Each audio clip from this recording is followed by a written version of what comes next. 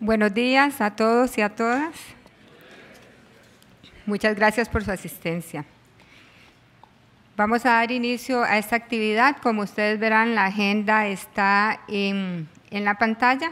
Vamos a tener una primera parte con unos saludos de bienvenida y la, eh, y la primera parte del conversatorio. Después vamos a salir a un refrigerio por 20 minutos y volvemos para la segunda parte las preguntas, consultas e intercambios se van a dejar para el final de la actividad.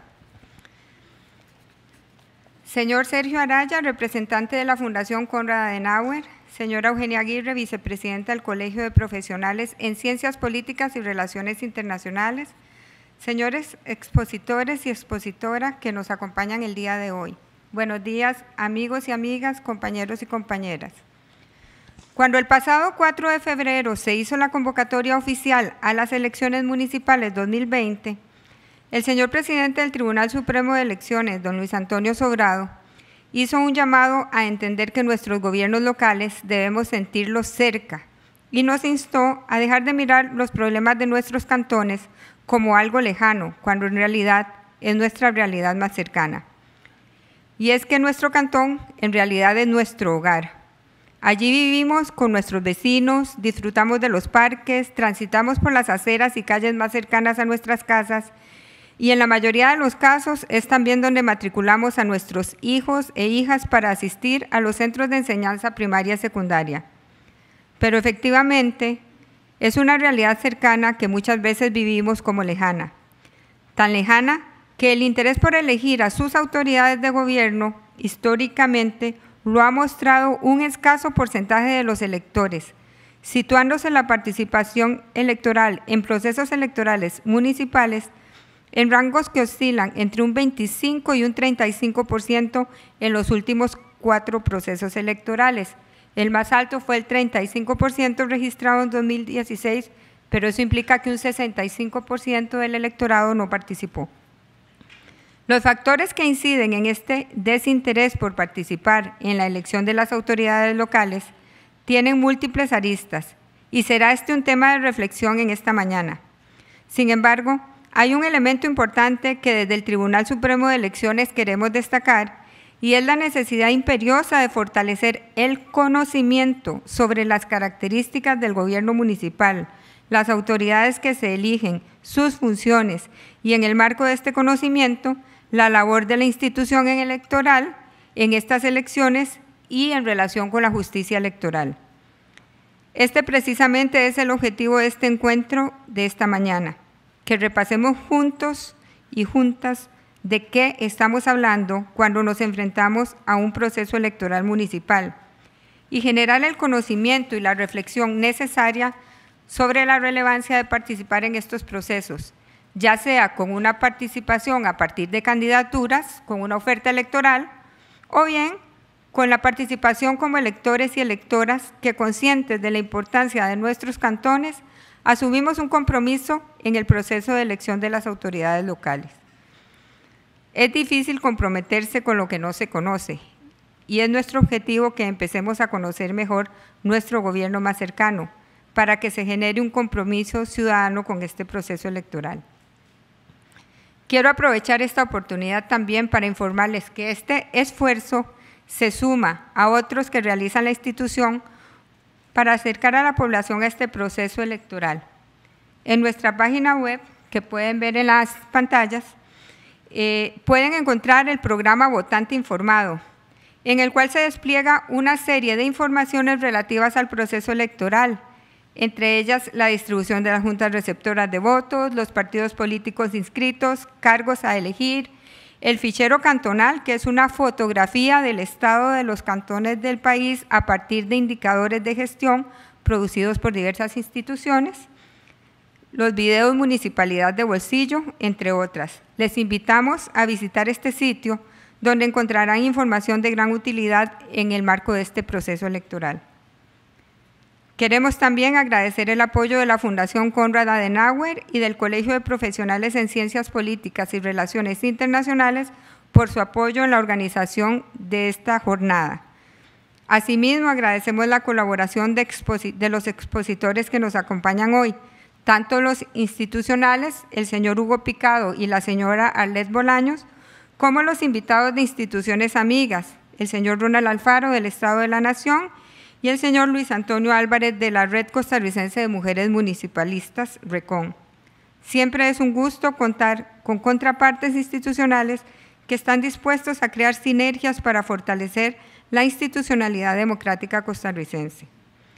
No me resta más que agradecer su presencia esta mañana y expresar nuestra sincera aspiración de que esta actividad sea muy provechosa para cada una de las personas presentes en las diferentes funciones y aspiraciones que tengan en el proceso electoral municipal 2020. Muchísimas gracias y ahora le cedo la palabra al señor Sergio Araya.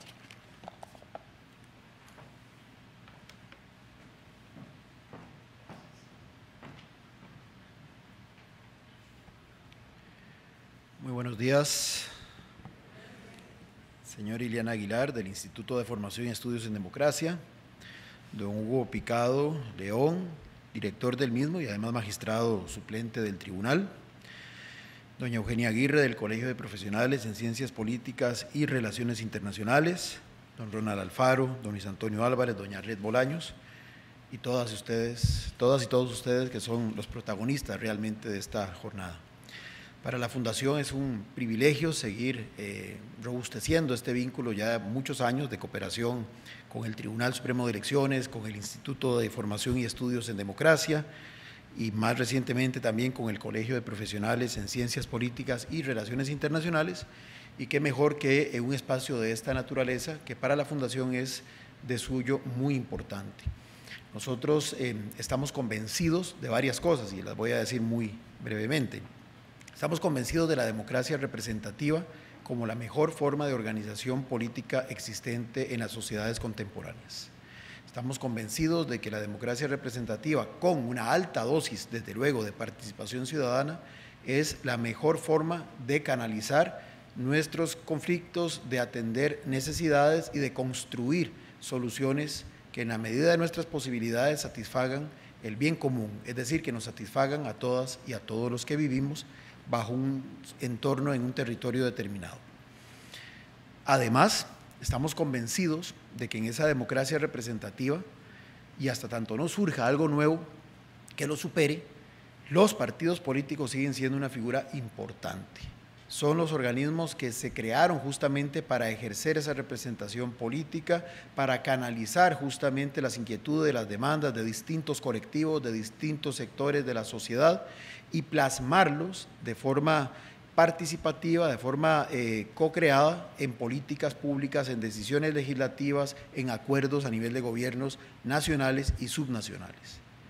No son las otras organizaciones que tienen un rol activo dentro de este tejido democrático las que pueden asumir esa potestad, cada quien en su lugar y todos trabajando de la manera más armoniosa posible. Evidentemente, eso no significa que el sistema de partidos no tenga que ser constantemente revisado, mejorado y robustecido. Pero si creemos en la pertinencia y en la importancia de los partidos políticos y nos alegra que en este proceso electoral, por ejemplo, haya mucha gente que haya decidido organizar partidos, participar desde los partidos políticos en la búsqueda justamente de acceder a los cargos de elección que están sometidos a, eh, a votación el próximo 2 de febrero. Lo tercero es que creemos justamente que la democracia de los países se construye desde la base y no desde arriba.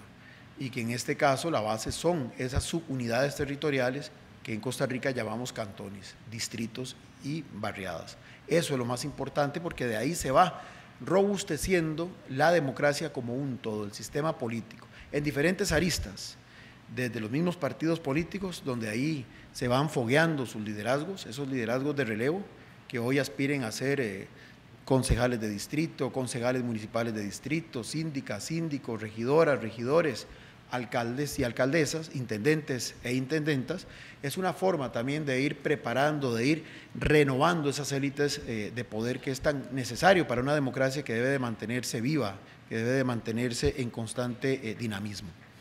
Para la ciudadanía, porque es una forma de ejercer esa ciudadanía activa desde lo local, en esos espacios donde tiene mayor capacidad de incidencia real, donde puede conocer mejor a quienes les están representando en los entes de, de poder local y pueden también co-crear esas políticas públicas que sean directamente para su propio beneficio.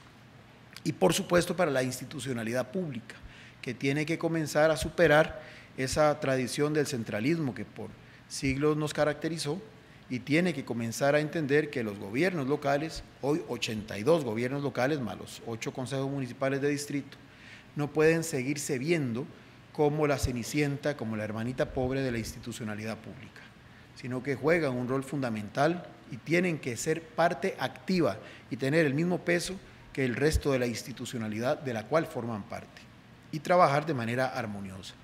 Entonces, esos elementos, el hecho de que por segunda vez en historia costarricense hayan logrado darse una identidad propia, lo local con respecto a lo nacional, permitiendo esta separación en las elecciones de sus principales autoridades, también es un desafío importante. Ya Iliana mencionaba algunos de ellos, hoy aquí los van a ahondar los especialistas, pero ciertamente son elecciones que más allá justamente de esos intereses específicos que pueden tener partidos políticos, que pueden tener los eh, municipios, es decir, las ciudadanas y los ciudadanos que van a, acudir a las urnas, que puede tener el mismo organismo electoral que le corresponde administrar, organizar y emitir justicia sobre este proceso electoral, tiene un elemento común que nos afecta a todas y a todos desde la visión del sistema político, y es que la democracia necesariamente, más en estos tiempos de convulsión, más en estos tiempos de dificultades que se respiran, se perciben no muy lejano de nuestras fronteras, encuentra en estos procesos locales válvulas de escape, válvulas a través de las cuales puede oxigenarse, puede renovarse como un sistema en pleno. Por eso todas y todos jugamos un rol que va más allá de ese primer rol inmediato que podamos tener. Cuando los que están aquí representando partidos busquen el eh, apoyo a sus candidaturas, piensen también en eso, que no solamente están buscando el objetivo inmediato, el árbol inmediato de ganar ese favor electoral y convertirlo en un cargo em, electo, sino que están desde su trinchera ayudando a fortalecer, a oxigenar al sistema democrático. Que lo vean también los medios de comunicación que van a cubrir esta, estas elecciones, que lo veamos las organizaciones de la sociedad civil que podemos respaldar a partidos, a ciudadanos y a colectivos, y que lo vea el ciudadano y la ciudadana, que cuando va a votar no solamente está votando, efectivamente, porque la elección es cerca suya, por aquel o aquella que cree le puede satisfacer demandas específicas en el corto plazo, sino que a través de ese ejercicio de democracia vivencial está fortaleciendo a la democracia misma. Todo eso es importante tenerlo presente. Y más allá, repito, de las diferencias y de las particularidades de cada uno de los actores que está involucrado en el proceso, ciertamente un pacto no explícito, diría yo, es que todas y todos los que estamos aquí involucrados en esto tengamos clara esa, ese norte, eso que nos subyace, que es el fortalecimiento mismo de la democracia. Y bueno, la democracia se fortalece con una amplia participación. Estamos claros que ese es el principal desafío en esa visión macro de todas y de todos. Lograr que poco a poco vaya mejorando la tasa de participación electoral en los comicios municipales que revertamos ese, reversemos perdón, ese, ese 3 a 7, que en este momento ha sido la característica, y que lo vayamos poco a poco variando, ojalá, ojalá idealmente a llegar a una participación plena, pero como eso realmente es poco viable, por lo menos a una participación lo más elevada posible que demuestre que la ciudadanía está comprendiendo la trascendencia de lo que son los gobiernos locales y de lo que es el proceso electoral municipal. Es por eso que una jornada como esta es plausible, es pertinente y más en este momento en que ya estamos en plena campaña electoral y ojalá pues que de aquí todas y todos salgamos con esa inquietud. Repito, tenemos dos agendas en este proceso, la que cada quien tenga desde el sombrero específico que se coloque como representante de partidos, organismos, academia, ciudadanía, pero fundamentalmente un sombrero que nos cubre a todos, que es el sombrero de robustecer, de fortalecer la democracia representativa con alta dosis de participación que está consagrada en nuestra Constitución, específicamente en el artículo 9 de la misma, y es importante que entendamos que es deber nuestro en esta coyuntura histórica garantizar que esta democracia va a seguir siendo robusta y va a seguir siendo sostenible por muchas décadas más, que tiene que ser mejorada, desde luego, nada humano es perfecto, pero jamás involucionar, jamás dar un paso hacia atrás, sino más bien ir progresivamente fortaleciendo esto que nos sigue eh, generando una suerte de distinción a nivel internacional, pero que no debe de llamarnos a quedarnos completamente en la contemplación de esa distinción, sino a comprometernos a que las próximas generaciones nos sigan distinguiendo a la democracia costarricense porque sigue siendo sólida, porque ha sabido adaptarse a los cambios y porque cada vez es más inclusiva y más auténticamente democracia. Muchísimas gracias.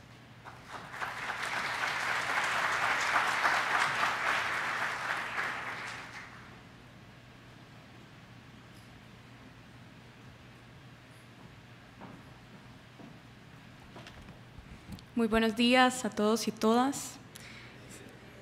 Es realmente un gusto ver eh, tantas personas interesadas en la temática que nos convoca.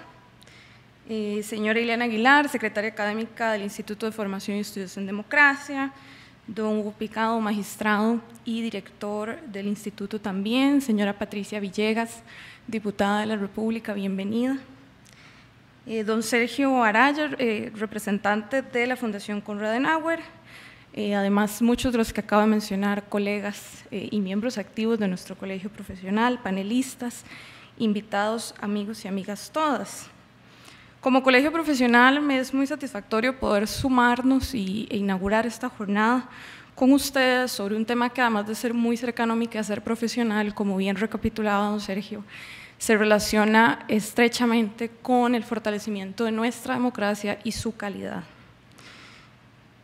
Parece poca cosa eh, en este sinfín de noticias, de algunas falsas, unas verdaderas, que en 2020 vamos a elegir a 6.138 personas que van a ser seleccionadas entre un sinnúmero eh, más de otras que también quieren ser parte de sus gobiernos locales y que van a decidir sobre eh, los destinos de nuestras comunidades. Un gobierno local, además, eh, del que quieren ser parte, que ha cambiado mucho desde que se decidimos como país elegir alcaldes y alcaldesas a través del voto popular, eh, poner en valor que hoy nuestros gobiernos locales deciden en temas cruciales sobre nuestra calidad de vida, como la seguridad ciudadana a través de policías municipales, sobre eh, temas como la primera infancia a través de la administración de los centros de cuidado y desarrollo infantil. Eh, el 82% de las vías de todo nuestro país están en manos de eh, las administraciones municipales en el territorio.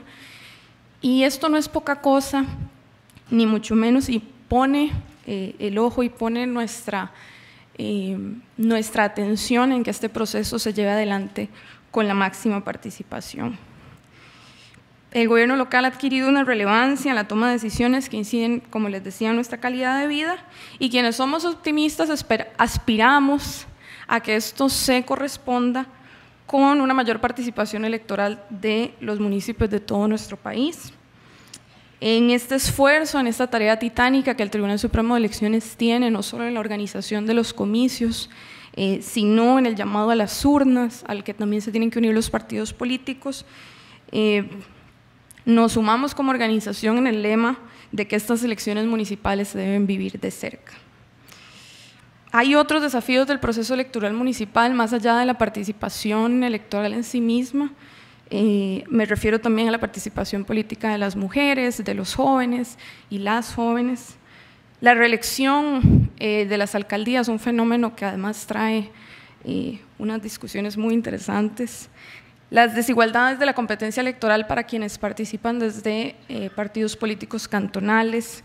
Todos estos son fenómenos a los que vamos a prestar atención, no solo por su relevancia, sino por tanto análisis y tanta retroalimentación que hay que hacer sobre las discusiones para la modificación de nuestra normativa electoral.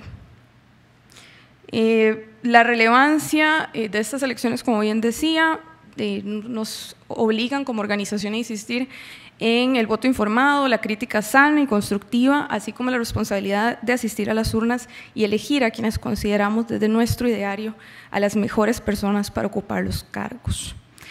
Aquí este, vale la pena acotar y como vicepresidenta de nuestro colegio profesional es fundamental también destacarlo. Nuestros profesionales y nuestras profesionales eh, participan en todo este proceso, tanto en candidaturas en sus partidos políticos como asesores y promotores del proceso electoral, en el análisis y la discusión, en medios de comunicación y comunidades de todo el país. Y además, para quienes están desde un entorno más de la academia, estas elecciones se convierten en un este, laboratorio fundamental para el análisis de tendencias sobre nuestro sistema político en la escala local y no, no está em, de más poner en valor el aporte de nuestros profesionales en esta tarea. Aplaudo la apertura de este espacio en un contexto social tan complejo en que la reflexión se ha visto disminuida y relegada frente a lo inmediato, lo visual, lo fácil y realmente espero que tengamos una magnífica jornada que sea de aprovechamiento para todos y todas y que puedan llevarlo a sus espacios de incidencia para insistir que estamos en pleno proceso electoral y faltan 101 días para eh, la decisión final que tenemos todos y todas en nuestro voto y en nuestra comunidad. Muchas gracias.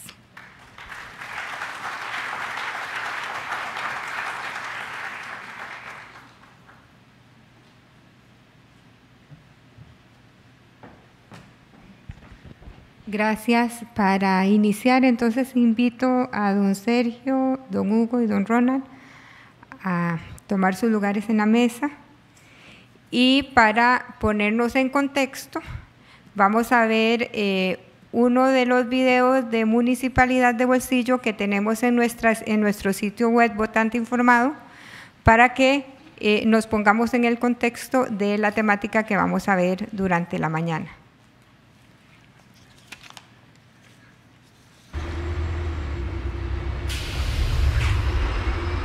En Costa Rica elegimos un gobierno nacional para que trabaje por el bienestar de todas las personas.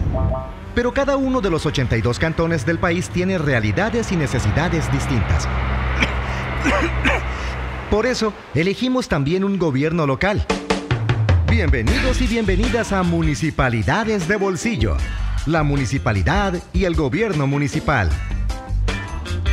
El gobierno municipal o local es el gobierno más cercano a la ciudadanía, por medio del cual decidimos sobre nuestro cantón.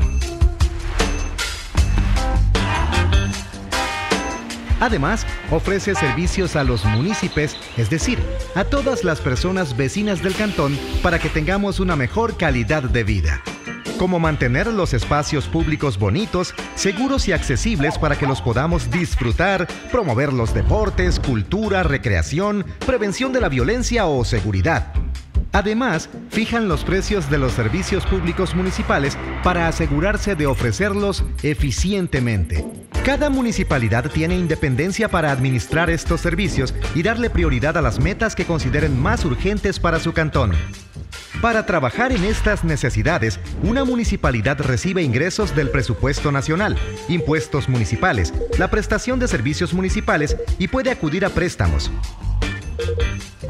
Y a pesar de que la autonomía y responsabilidad de una municipalidad se limita a su cantón, puede trabajar en equipo con otras municipalidades cercanas para cumplir objetivos de una región y con instituciones del Estado que buscan mejorar el bienestar de todos, pero que necesitan de los gobiernos locales para hacer realidad sus proyectos. La municipalidad cuenta con el personal administrativo, las personas contratadas para dar los servicios municipales, la alcaldía y el consejo municipal, pero solo elegimos a estos dos últimos, quienes conforman el gobierno municipal. El Consejo Municipal toma decisiones, como definir las políticas y los objetivos que necesitan trabajar con mayor urgencia para mejorar la vida en su cantón, basados en la propuesta de gobierno de la alcaldía. La alcaldía administra el presupuesto para los proyectos que define el Consejo y se asegura de que se hagan realidad.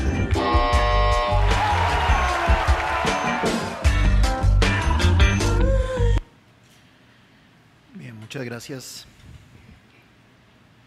Este video forma parte de ese em, stock de material didáctico que el Instituto de Formación y Estudios en Democracia eh, ha preparado para la ciudadanía y de forma, digamos, eh, bastante pedagógica, lúdica, se va creando conciencia a través de la información además transmitida de lo que significan los gobiernos locales en la realidad de nuestro, de nuestro país. Para iniciar ya esta jornada con el primero de los dos conversatorios de los que, forma, de los que consta, tenemos a mi derecha al doctor Hugo Picado León, magistrado del Tribunal Supremo de Elecciones y director del Instituto de Formación y Estudios en Democracia, hoy nuestro anfitrión, don Hugo. Y al doctor Ronald Alfaro Redondo, politólogo del Informe del Estado de la Nación y del CIEP también y de la Escuela de Ciencias Políticas de la Universidad de Costa Rica. Don Hugo es eh, bueno, licenciado en Derecho por la Universidad de Costa Rica y es doctor como decía, en Ciencias Políticas y máster en Estudios Latinoamericanos por la Universidad de Salamanca en España. Además, eh, coordina el Consejo, además de magistrado y director del IFED, coordina el Consejo Editorial de la revista de Derecho Electoral de este organismo electoral y es también docente en la Universidad de Costa Rica. Don Ronald Alfaro Redondo es máster además en métodos cuantitativos en las ciencias sociales de la Universidad de Columbia en Nueva York, Estados Unidos. Es doctor en ciencias políticas de la Universidad de Pittsburgh en Pensilvania. Autor principal del estudio del barómetro de las Américas para Costa Rica. Coordinador de la Unidad de Opinión Pública y Cultura Política del Centro de Investigación y Estudios Políticos CIEP de la Universidad de Costa Rica. Investigador del programa Estado de la Nación profesor de la Escuela de Ciencias Políticas de esa Casa de Educación Superior y sus áreas de trabajo, de las muchas que él aborda, pero en las que se ha centrado especialmente en los tiempos más recientes, es en política comparada, elecciones y sistemas electorales, partidos políticos, participación política, opinión pública y cultura política. Y además es autor del libro muy interesante el nombre además, divide y votarás. Muy bien, vamos a, la mecánica es la siguiente, vamos a escucharles por un máximo de, de 30 minutos a cada uno. Cuando falten unos minutitos yo les haré la, mención del caso. Y como bien explicó eh, Ileana, terminadas las intervenciones de ambos, iremos al café y luego escucharemos el segundo conversatorio. Entonces, todas las dudas, todos los comentarios, todas las críticas que tengan de lo que los dos caballeros aquí planteen, manténganlas eh, por escrito para que en el intercambio que se hará tras el segundo conversatorio puedan ustedes eh, canalizárselas, en este caso, a los dos expositores de este momento. Así que, don Hugo, comenzamos con usted. Muchas gracias, Sergio. Muy buenos días.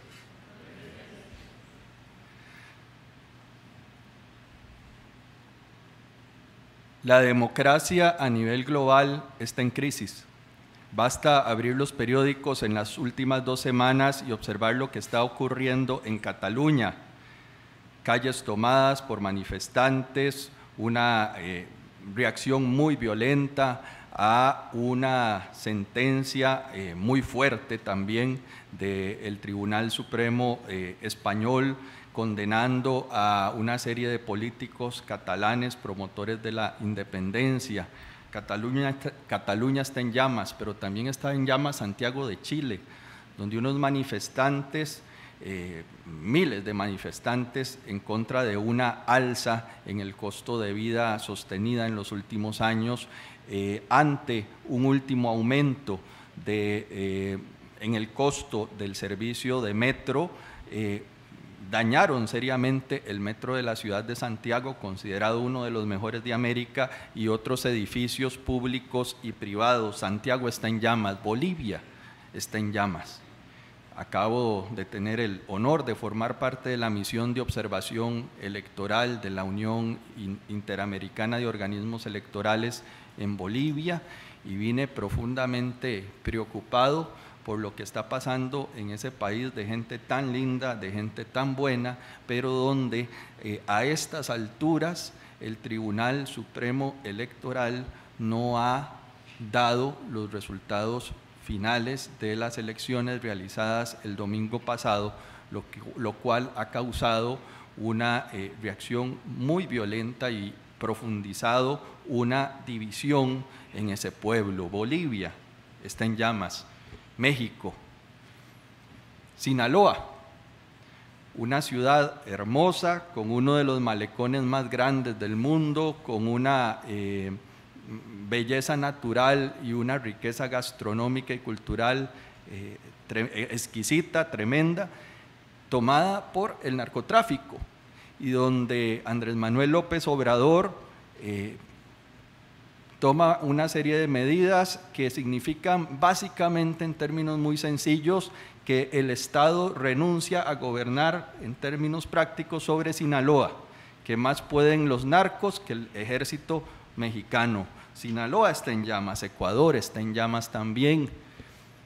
Se ha podido resolver parcialmente en mesa de negociación el gran paro que puso en jaque al gobierno de Lenín Moreno, pero eh, las negociaciones eh, no terminan de, eh, de cristalizar en, un, en una estabilidad que desea el pueblo ecuatoriano. Pero es que también Gran Bretaña está en crisis, se han dado en los últimos tiempos medidas políticas absolutamente insólitas en la historia de, de Gran Bretaña, primer ministro Boris Johnson que toma medidas que nunca se había atrevido a tomar un ministro en ese país y están a pocos días de definir qué tipo de Brexit, de salida de la Unión Europea, van a tener.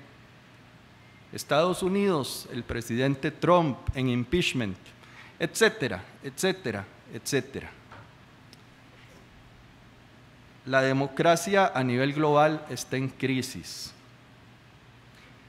Y así lo hizo ver el magistrado presidente del Tribunal Supremo de Elecciones, Luis Antonio Sobrado, en la convocatoria de elecciones hace unos pocos días en este mismo salón, cuando en su discurso concluye diciendo, ya fuimos democracia durante la Guerra Fría, fuimos democracia durante la guerra en Centroamérica, y podemos ser democracia en medio de esta crisis global de posverdad y desinformación en Internet. Ciertamente, amigas y amigos, la democracia liberal y republicana no es perfecta, pero cualquier alternativa es definitivamente peor. Por eso, tenemos que seguir defendiendo y construyendo a partir de los valores democráticos, liberales y republicanos en los que se ha asentado nuestra historia y que nos hace vivir en un país privilegiado.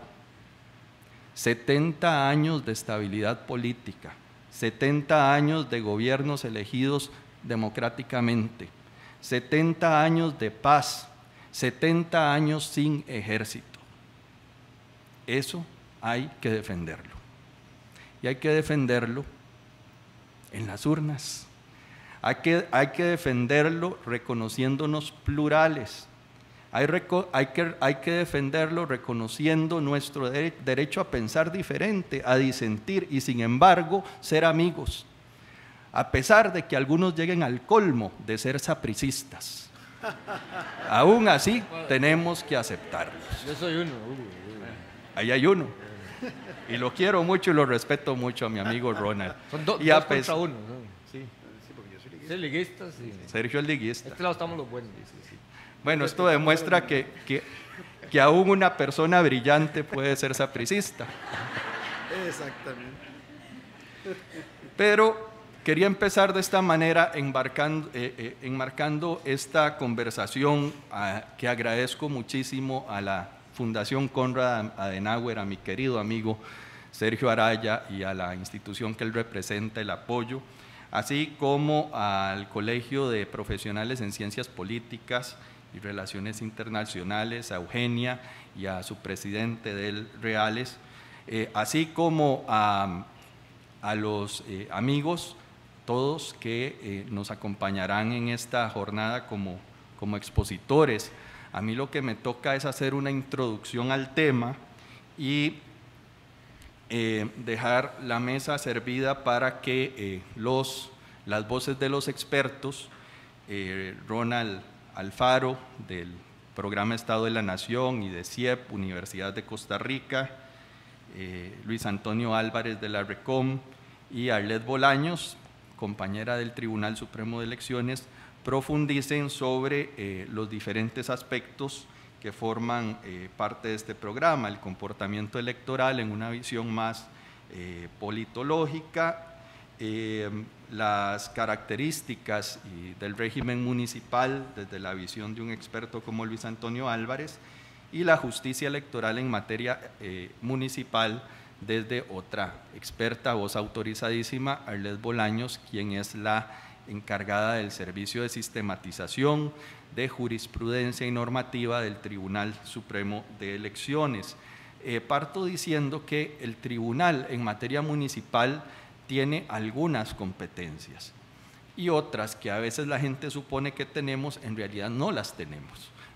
Eh, ¿Cuáles son las competencias del tribunal? Son competencias a nivel de administración electoral y registral, civil, por supuesto, dentro de la dinámica de organización de los comicios municipales, el tribunal es jerarca, tiene por constitución política la obligación de organizar dirigir y controlar todos los actos relativos al sufragio. Entonces, en, este periodo eh, preelectoral que eh, tiene un punto eh, importante, un momento importante en la convocatoria a elecciones a inicio de este mes, a partir de ese momento el, tribunal juega un papel protagónico en la organización de los comicios. Además el tribunal es juez de la República.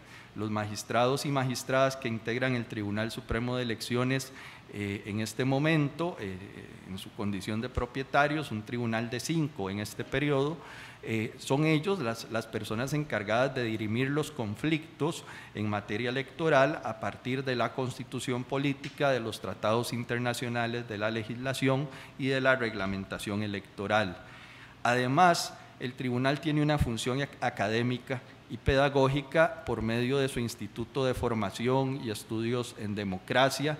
Aquí nos acompaña Mariana Arguedas, la compañera que desde el IFET desde el instituto se encarga del área de, formación a partidos políticos eh, y que durante, bueno, ininterrumpidamente, iba a decir durante todo el año, ininterrumpidamente desde hace 10 años, desde hace 8 años, venimos ofreciendo capacitación a todas las agrupaciones políticas del país. El próximo sábado es un, tenemos un, una nueva, un nuevo evento de capacitación a partidos políticos en este mismo auditorio. Esas son funciones propias del tribunal en materia municipal, pero el tribunal no legisla, esto es importante señalarlo, el tribunal no es legislador, el tribunal no promulga el código municipal, el tribunal no promulga el código electoral. El código electoral es producto de la Asamblea Legislativa. La Asamblea Legislativa legisla y lo hace eh, de manera monopólica como corresponde en una democracia liberal y representativa. El tribunal interpreta y aplica esas normas. Y también es importante señalar, ya profundizarán en esto eh, y Luis, el tribunal no es propiamente un jerarca de los de los, eh, de los municipios, ni el tribunal eh, es, es, autoridad eh, jurisdiccional en materia municipal, lo es en materia electoral cuando toque lo municipal, pero el código municipal y toda la legislación municipal tiene su propia estructura, su propia entidad, su propia dinámica y a lo que vamos es a una elección donde el tribunal tiene que aplicar fundamentalmente la legislación electoral y eh, en algunos aspectos la elección municipal en cuanto toque la dinámica electoral. Esperamos que estos conceptos esta mañana resulten, este, resulten eh, clarificados por medio de las diferentes este, exposiciones. Yo voy a muy rápidamente a introducir el tema a partir de estas preguntas, ¿de dónde vienen las elecciones municipales? Es importante que recordemos eh, antecedentes, cuáles son las características propias de las elecciones municipales 2020. Vamos a hablar de cuántos partidos participarán, todavía no puedo adelantar el número exacto, no lo tenemos. El próximo viernes en conferencia de prensa, don Luis Antonio Sobrado lo dará a conocer a todo el país, eh, ya números eh, definitivos del número de partidos que participarán y del número de candidaturas que se presentaron hasta el viernes pasado, que terminó el periodo de inscripción de candidaturas. ¿Cuántos cargos se eligen? ¿Cómo se eligen los cargos? ¿Cómo se aplicará la paridad y la alternancia? ¿Y cómo ha sido la participación electoral en comicios municipales? Eh, que con eso concluiré de manera muy general para dar paso a, Ronald como experto en, este tema de comportamiento electoral. Bueno, recordemos que eh, nosotros fuimos colonia española y durante la colonia española el, sistema de gobierno fue eh, anclado o, tuvo un papel predominante el cabildo o ayuntamiento. Es decir, nuestra, nuestra herencia colonial es muy rica en poder municipal era en los cabildos, en los ayuntamientos donde se tomaban decisiones clave. Recuerden ustedes que cuando llega el acta de independencia pasa al cabildo eh, de, Cartago, a San José, eh, a las diferentes comunidades y esa es una, una tradición muy europea y muy propia también de la colonia española. Eh, a partir de, de la independencia empieza una tendencia centralizadora que toma particular fuerza a partir de relevancia, a partir del gobierno de don Braulio Carrillo, se debilitan los gobiernos locales a fin de crear un centro político fuerte anclado en la meseta central, de manera que nuestro legado en el siglo XIX y en buena parte del siglo XX es mayoritariamente eh, centralista, con todo y que nuestra constitución política de 1949 eh, abre un espacio al fortalecimiento del régimen municipal, como se expondrá seguramente más adelante. En 1998 se da un momento clave porque se promulga un código electoral que entre eh, un código municipal, perdón, un código municipal que entre otras cosas democratiza la estructura de los gobiernos locales. ¿Cómo? Eh, creando o, estableciendo, entre otras cosas, que el quien ejerza la función ejecutiva en el gobierno municipal debe ser electo popularmente. Recordemos los que ya peinamos canas antes de, hasta la década de 1990, el gobierno municipal lo ejercía una figura que se llamaba ejecutivo municipal y el Ejecutivo Municipal no era electo popularmente, era designado por el Consejo Municipal. Los regidores sí eran electos popularmente, pero no así el Ejecutivo Municipal. Este Código Municipal del 98 cambia eh, la, la estructura jurídico-electoral de los municipios en el país y a partir de ese código tuvimos tres elecciones en 2002, en 2006 y en 2010 fueron elecciones municipales donde ya se elige el alcalde, el alcalde municipal popularmente, se eligen regidores, se eligen síndicos, consejos de distrito, consejos municipales de distrito e intendentes. Eh, la característica de estos tres procesos electorales, 2002, 2006 y 2010, es que fueron procesos electorales desconcentrados, porque el órgano deliberativo de cada cantón, de cada municipio, que se llama Consejo Municipal y lo integran los regidores y regidoras, en estas tres ocasiones fue, fueron elegidos en el mismo momento, en los mismos comicios de la elección presidencial y legislativa, es decir, en febrero de esos años, mientras que el resto de los cargos municipales los elegimos en diciembre de ese mismo año. Esto generó varios problemas. En términos eh, políticos, un, eh, un periodo eh, de vacío al inicio y al final de cada gobierno, de cada periodo municipal, porque se elegían en enero, en, perdón, en febrero los regidores y en diciembre los alcaldes, los síndicos, los concejales de distrito, los consejos, etcétera. Entonces eso generaba pues un, traslape no muy eh, apropiado para las municipalidades. Luego, eh, en términos de logística electoral, varios inconvenientes, este, sobre todo que organizar elecciones en diciembre no es bueno por eh, cuestiones climáticas. En dos de estos tres comicios hubo que suspender elecciones en algunos cantones del país porque todavía en diciembre nuestro país tropical es susceptible a tormentas, a inundaciones, etc. En 2002 y en 2010 hubo que suspender comicios, en, un caso en la provincia de Limón, en otro caso en, la, en el primer caso en la provincia de Cartago, en el segundo cantones de la provincia de Limón y este, además de que diciembre ya la gente llegaba agotada del ciclo electoral, pensando en tamales, pensando en el campeonato de la liga, pensando en, en, todas las cosas bonitas que hay en diciembre normalmente, ¿verdad? Menos en elecciones. Entonces, en 2009 se da una reforma electoral que está cumpliendo 10 años justamente en este momento. En esa reforma electoral o a partir de esa reforma electoral eh, se da un nuevo cambio y tuvimos hace cuatro años las primeras elecciones municipales de mitad de periodo, siguiendo un modelo muy común en las democracias occidentales. La opción de nuestro legislador en 2009 fue concentrar las elecciones municipales, ya no elegir regidores en un momento y el resto de cargos en otro, concentrarlos y colocarlas a mitad del periodo eh, presidencial. Entonces, nuestro modelo actual de elecciones municipales, para definirlo en, el término, en, los términos más generales, son unas elecciones concentradas, unos comicios que se realizan simultáneamente. Vamos a elegir a todos los eh, cargos que conforman el aparato municipal de elección popular en todo el país y lo vamos a elegir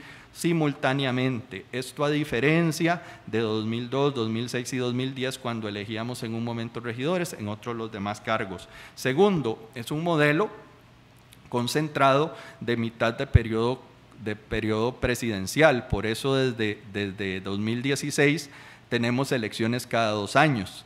¿no? Eh, por eso todos los años, ahora en Costa Rica, todos los años son años electorales, años preelectorales, años electorales, años preelectorales.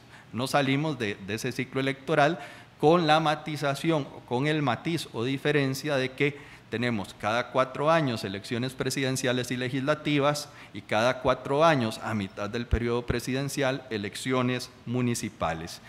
Eh, hay algunas innovaciones en los comicios de 2020 pero eh, quizás la más relevante es que pasamos de tener 81 cantones a 82 cantones. Ahora serán 82 los municipios porque en este periodo legislativo, eh, en este cuadrienio, eh, entre, entre las elecciones de 2016 y de 2020, tendremos, se, se creó el cantón de Río Cuarto, eh, que eh, viene a constituir una nueva circunscripción electoral. En términos de eh, estrictamente de organización electoral, hablamos de elecciones municipales en plural. ¿Por qué? Porque cada elección, cada cantón es una circunscripción electoral totalmente independiente de la otra. Son 82 elecciones distintas. Por eso es, fue posible y necesario en 2002 y en 2006 cancelar elecciones en algunos cantones y mantenerla en otros que no estaban afectados por las tormentas y por las inundaciones. ¿Por qué? Porque eran elecciones distintas. Eso en una elección nacional no se podría hacer, porque la elección nacional, presidencial y legislativa abarca todo el territorio nacional como circunscripción completa. Pero este, es importante entender que cuando hablamos de elecciones municipales, estamos hablando de comicios mm, individualizables, propios, autónomos en cada uno de los 82 cantones del país, organizados todos, sí, por el Tribunal Supremo de Elecciones, pero tienen la característica también de que son comicios donde van a participar todos los partidos políticos que eh, nuestro ordenamiento jurídico permite sean partidos políticos de escala nacional, de escala provincial y de escala cantonal. En las elecciones nacionales participan solo los partidos de escala nacional y de escala cantonal eh, y de escala provincial, perdón. en las presidenciales y legislativas, partidos de escala nacional y provincial mientras que en elecciones municipales pueden participar también los partidos de escala cantonal, que son los más numerosos. Al día de hoy, bueno, para ser más preciso, al día de ayer, porque saqué estos datos de, la, base de datos del tribunal ayer, no sé si, si en este ratito ha pasado algo hoy, ese es el número de partidos políticos inscritos en el registro de partidos. Miren ustedes cómo ha aumentado en el año 2006 teníamos en Costa Rica 43 partidos políticos, en el 2010 47, en el 2016 59 y al día de ayer tenemos 144, de los cuales 21 son de escala nacional. Es decir, estos 21 partidos podrían participar en cualquier tipo de elecciones a nivel nacional. Eh, hay 23 partidos de escala provincial que podrían participar en las elecciones legislativas proponiendo candidaturas a diputado por su provincia y pueden participar también en las elecciones municipales de todos los cantones que pertenezcan a su provincia. Y tenemos 93 partidos de escala cantonal, que son partidos que se crean para participar únicamente en un cantón en ese cantón donde fueron eh, inscritos. ¿Cuántos partidos políticos de estos 144 vamos a tener participando en los próximos comicios? Todavía no lo sé. Lo sabremos el próximo viernes. Eh, en este momento el registro de partidos políticos está haciendo revisión de toda la documentación que es enorme, gigantesca, eh, eh, muy numerosa de las diferentes candidaturas que presentaron los partidos políticos eh, y que cuyo periodo para inscripción de candidaturas, reitero, concluyó el viernes pasado. Pero podríamos estar llegando a una cifra mm, cercana a los 80, 90 partidos políticos eh, participantes, creo yo, fácilmente, ¿verdad? Vamos a ver el próximo viernes. Este, ¿por, qué esa diferencia? Porque estos son los partidos inscritos que podrían participar, pero muchos de esos partidos al final no participan, porque no realizaron asambleas, porque no se pusieron de acuerdo, porque no les dio la gana, lo que sea. Este, recordemos que antes el Código Electoral de 2009 establecía que el partido político que no participaba en los comicios quedaba desinscrito. Entonces el tribunal cancelaba la inscripción de los partidos que no participaban. La sala constitucional anuló esa norma, la declaró inconstitucional. Entonces hoy en día tenemos ahí una especie de inflación partidaria con partidos que con partidos políticos que no participan en los comicios, pero que están allí inscritos. Tenemos 6.138 cargos a elegir. Ya este, el colega Luis Álvarez eh, entrará con más detalle a definir las funciones de cada uno de estos cargos. 6.138 cargos a elegir. Hace cuatro años tuvimos 35 mil candidatos y candidatas para esos 6.138 cargos.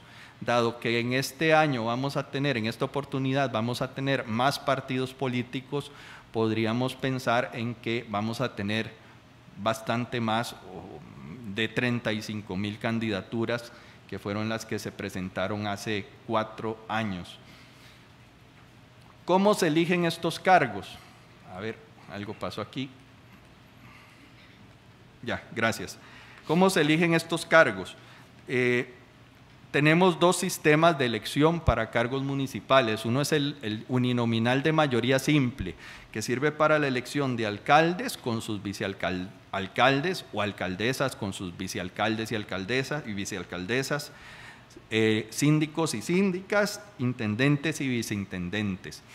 Estos cargos se eligen, insisto, por mayoría simple, no se requiere balotage se requiere sacar un voto más que todos los demás rivales. Con un solo voto puede una persona llegar a ser alcalde, vicealcalde, síndico, intendente, intendenta. Eh, ¿Y qué pasa si hay empate? Según la ley electoral, en caso de empate queda elegido el candidato de mayor edad, el de mayor edad. Eso pues, ¿por qué es así? Porque así lo define la ley, ¿verdad? Este, hay una tradición jurídica que se ancla en, el, en los senados de la República Romana que, privilegia a la persona de mayor edad.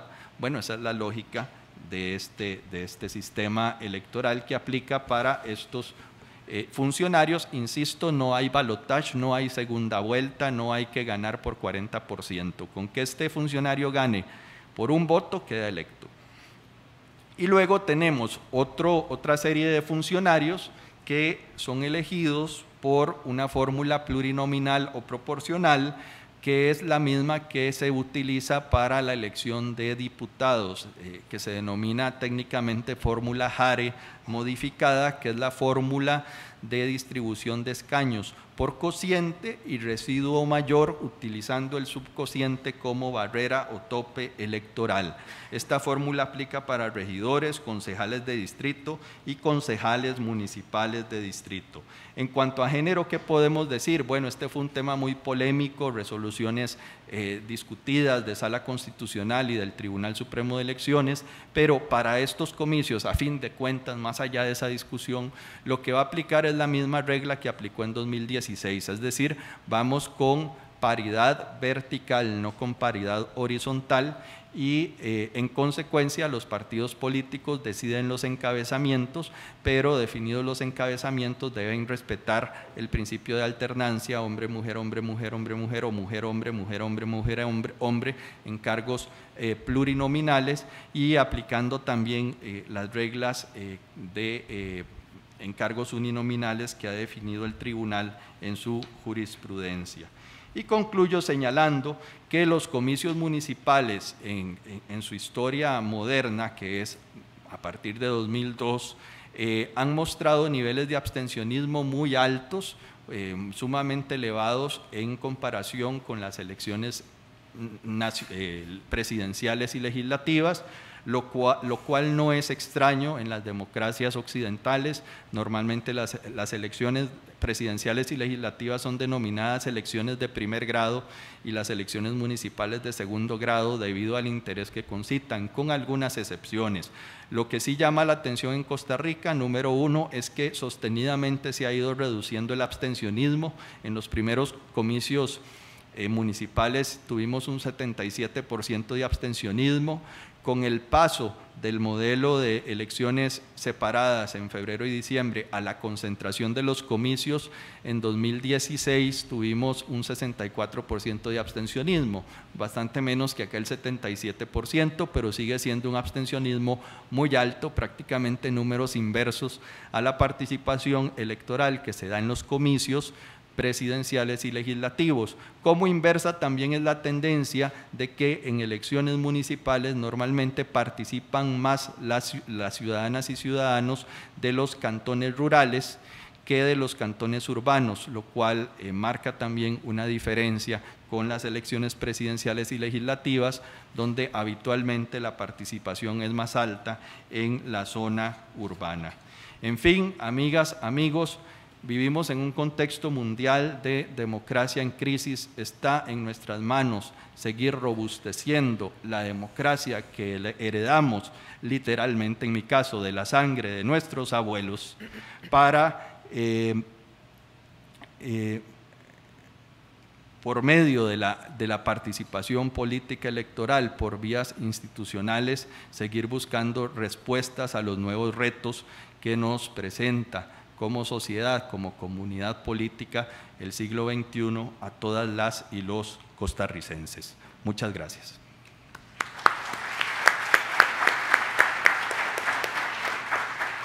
Muchas gracias a don Hugo, bueno, por esta caracterización tan precisa, tan rigurosa que hizo del proceso en el que ya estamos inmersos y además por ajustarse religiosa y rígidamente al tiempo eh, asignado. Muchísimas gracias.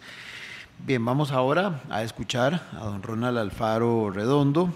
Como ya lo adelantó don Hugo, él va a hablar sobre el comportamiento electoral en justamente estos comicios municipales. Don Ronald. Bueno, muy buenos días, tengan todos y todas, un placer eh, pues, acompañarlos. Eh, voy a empezar a, eh, y ahorita voy a hablar un poco sobre qué sobre cuáles temas, en cuáles temas me voy, a concentrar. Creo que la reflexión que ha hecho Hugo sobre el panorama eh, tan hostil que atraviesan todas las democracias, muchas democracias en el mundo, eh, permite contextualizar eh, la lógica de, este, de, esta, de esta conversación y sobre todo ponerlo en contexto local, en contexto costarricense. Pero antes, eh, yo no voy a responder a las provocaciones, digamos, de sapricista, liguista. Esas las discutimos fuera de, fuera de aquí. Pero de, permítame una, una libertad. Eh, no sé si ustedes son aguisoteros o no, ¿verdad? Eh, supongo que sí, muchos seremos en, alguna, en algunas circunstancias, ¿verdad?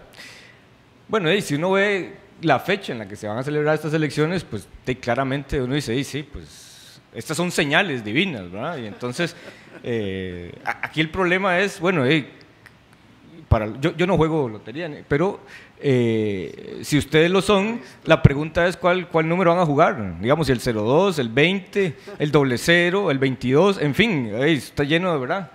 Eh, un poco desde esa lógica, van a tener que jugar de todo un poco para esa fecha, ¿verdad? A ver si al acumulado, si, si le pegan al acumulado. Si le pegan, recuerde quién se lo dijo aquí.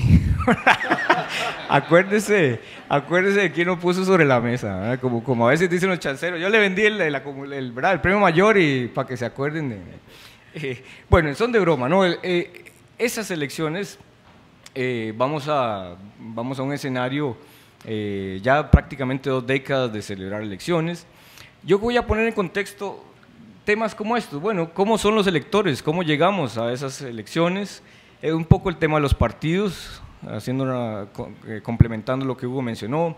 El tema de la participación electoral también profundizando en algunos aspectos centrales y eh, el tema de la gobernabilidad, gobernabilidad local, ¿verdad? Porque ese es un aspecto muy importante. Supongo que ustedes, algunos de ustedes serán miembros o representantes de los partidos, están en las nóminas quizás, algunos también, ¿verdad? De los, de los que van a competir.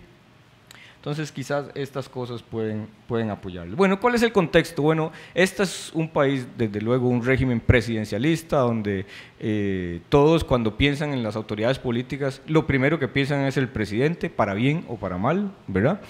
Eh, y muchas veces es un pararrayos políticamente porque eh, lo que está bien o lo que está mal le, termina, se le termina endilgando una gran responsabilidad. Es además un país centralista, históricamente muy centralista, uno de los más centralistas en América Latina, ¿verdad? Y eso ha diseñado mucho el país que somos. Es además un país unitario, o sea, aquí no, no somos una federación y entonces no hay el tema de las regiones está desdibujado. No tenemos autoridades provinciales, por ejemplo, en algún momento existieron. Probablemente ustedes recordarán el gobernador de San José, eh, el último fue un señor de apellido Vargas que andaba cerrando este, eh, bares y eh, negocios poco cuestionados. pero eso no existe en el caso nuestro. Y además, estas son unas elecciones territoriales fundamentalmente, ¿verdad? Y, y, con esto quiero ser también muy, quiero ser muy, muy franco en esto. Lo que pase en elecciones nacionales va a tener muy, pase lo que pase, lo que ocurrió en las elecciones nacionales del 2018 va a tener muy poco que ver, poquísimo que ver con lo que vaya a ocurrir en febrero del 2020, ¿verdad? ¿Por qué? Porque históricamente así lo ha sido, ¿verdad? A Liberación, si le iba bien en las municipales, perdía, perdía las nacionales. Al PAC, si le iba bien en las nacionales, perdía las municipales, ¿verdad? Y entonces, ¿qué, ¿qué, es lo que ocurre? Bueno, es que estamos hablando de dos fenómenos completamente diferentes uno del otro, ¿verdad? Entonces, no hay un fenómeno de arrastre, no hay un efecto de arrastre de tendencias nacionales. Usted diga, bueno, entonces como Restauración fue el segundo partido, Restauración Nacional fue el segundo partido más votado en el 18, entonces eso se va a reflejar en el 2020. Yo digo, bueno, yo tengo mis dudas todavía, no estoy descartándolo, pero tengo, digamos, mis dudas al, respecto. ¿Por qué? Porque estas elecciones se juegan a otra intensidad, ¿verdad? Usando la metáfora del partido, aquí se juega a otra intensidad y en otros terrenos. ¿Por qué? Por cosas como estas. ¿Qué no son? Bueno, yo no les llamo a estas como elecciones de medio periodo, por una razón muy sencilla. No hay en esta elección municipal, no hay en juego ningún cargo, digamos, el reemplazo, la sustitución de autoridades, por ejemplo, legislativas, ¿verdad? Como así existe en otros países. Entonces, pase lo que pase, el Ejecutivo seguirá funcionando y pase lo que pase, los diputados se mantendrán en sus curules hasta el 22, ¿verdad? ¿Qué es lo otro? Bueno, esto tampoco es una elección termómetro de, la labor gubernamental, por lo mismo que decíamos ahora, ¿verdad? Eh, al PAC, siendo gobierno en el, en el, eh, en el 16, lo único que alcanzó fueron seis alcaldías, para un partido oficialista. Entonces, estamos hablando de otras dinámicas que mueven esto. Es una elección, sí, eh, no es una elección tampoco para que los partidos midan fuerzas. Alguien dice, bueno, es que como nos fue muy bien en las municipales del 16, así nos iba a ir muy bien en el 18, ¿verdad? De, pues, yo creo que todavía están esperando algunas de esas, algunas de esas lógicas. Eh, eh, ¿A qué vamos? Bueno, vamos a este, a este escenario. Ya aquí yo no me voy a detener mucho, ya hemos hablado y Hugo lo ha planteado, qué tipo de cargos se van a elegir, dónde, va, dónde vamos a tener. Lo que sí quiero resaltar es que en elecciones municipales hay cosas que uno no ve en elecciones nacionales, ¿verdad? Está, por ejemplo, el tema de las coaliciones, ¿verdad? En varios cantones. Eh, vamos a tener esta vez inscritas al menos hay siete, vamos a ver qué va a pasar si van a participar o no. Pero bueno, ahí están todas las, eh, buena parte de, estas cosas, eh, algunas de ellas estamos a la espera todavía de los datos finales. Entrando desde el punto de vista de los electores, ¿cómo nos encuentra esa elección municipal al electorado costarricense. O sea, ¿quiénes somos los que, vamos, los que, estamos, a, eh, los que estamos convocados a participar? Vean, en 1953, hace este, un poco más de eh, casi 70 años, casi 70 años, este era el padrón electoral en Costa Rica. La clásica pirámide poblacional, ¿verdad? Ancha en la base, pero muy achatada, digamos, muy angosta en la cúspide, ¿verdad?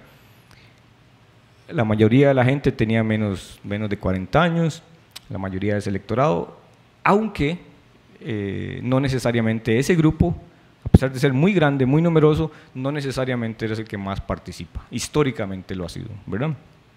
50 años después, más o menos esto es lo que teníamos, ¿verdad? Vean que ya la cosa cambió y cambió bastante, ¿verdad? Ya entonces empieza a notarse la presencia, ¿verdad?, de dos grupos dominantes en ese electorado, ¿verdad? Gente menores de 30 años, 35, y la gente que tiene más de 55. Eh, si lo proyectamos eso al 2050, vean lo que ocurre con los datos oficiales, digamos, del comportamiento de la población. Y ahora se parece más a un carnival, ¿verdad? Esos cruceros, la foto de los cruceros, de los grupos dominantes en esa, en esa campaña. Entonces vean que para los partidos, si ustedes son miembros de partidos, en este escenario está el desafío de cómo hablarle a los grupos, ¿verdad? Cómo hablarle a grupos que son grandes, ¿verdad? Que tienen más o menos un mismo peso, van a tener un mismo peso, pero que reaccionan distinto a esos mensajes de los partidos políticos. ¿Cómo convocar a jóvenes y a gente más adulta a que hagan lo que, ¿verdad? Lo que quisiéramos que hagan, que es que, voten.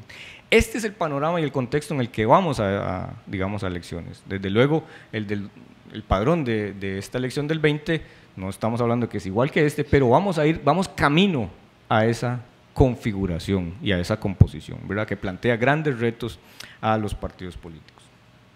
Sobre los partidos, ya Hugo lo mencionó, aquí no me voy a detener, pero estamos en lo que uno podría llamar, en, en el ámbito municipal, estamos en lo que podríamos llamar como la plena primavera partidaria.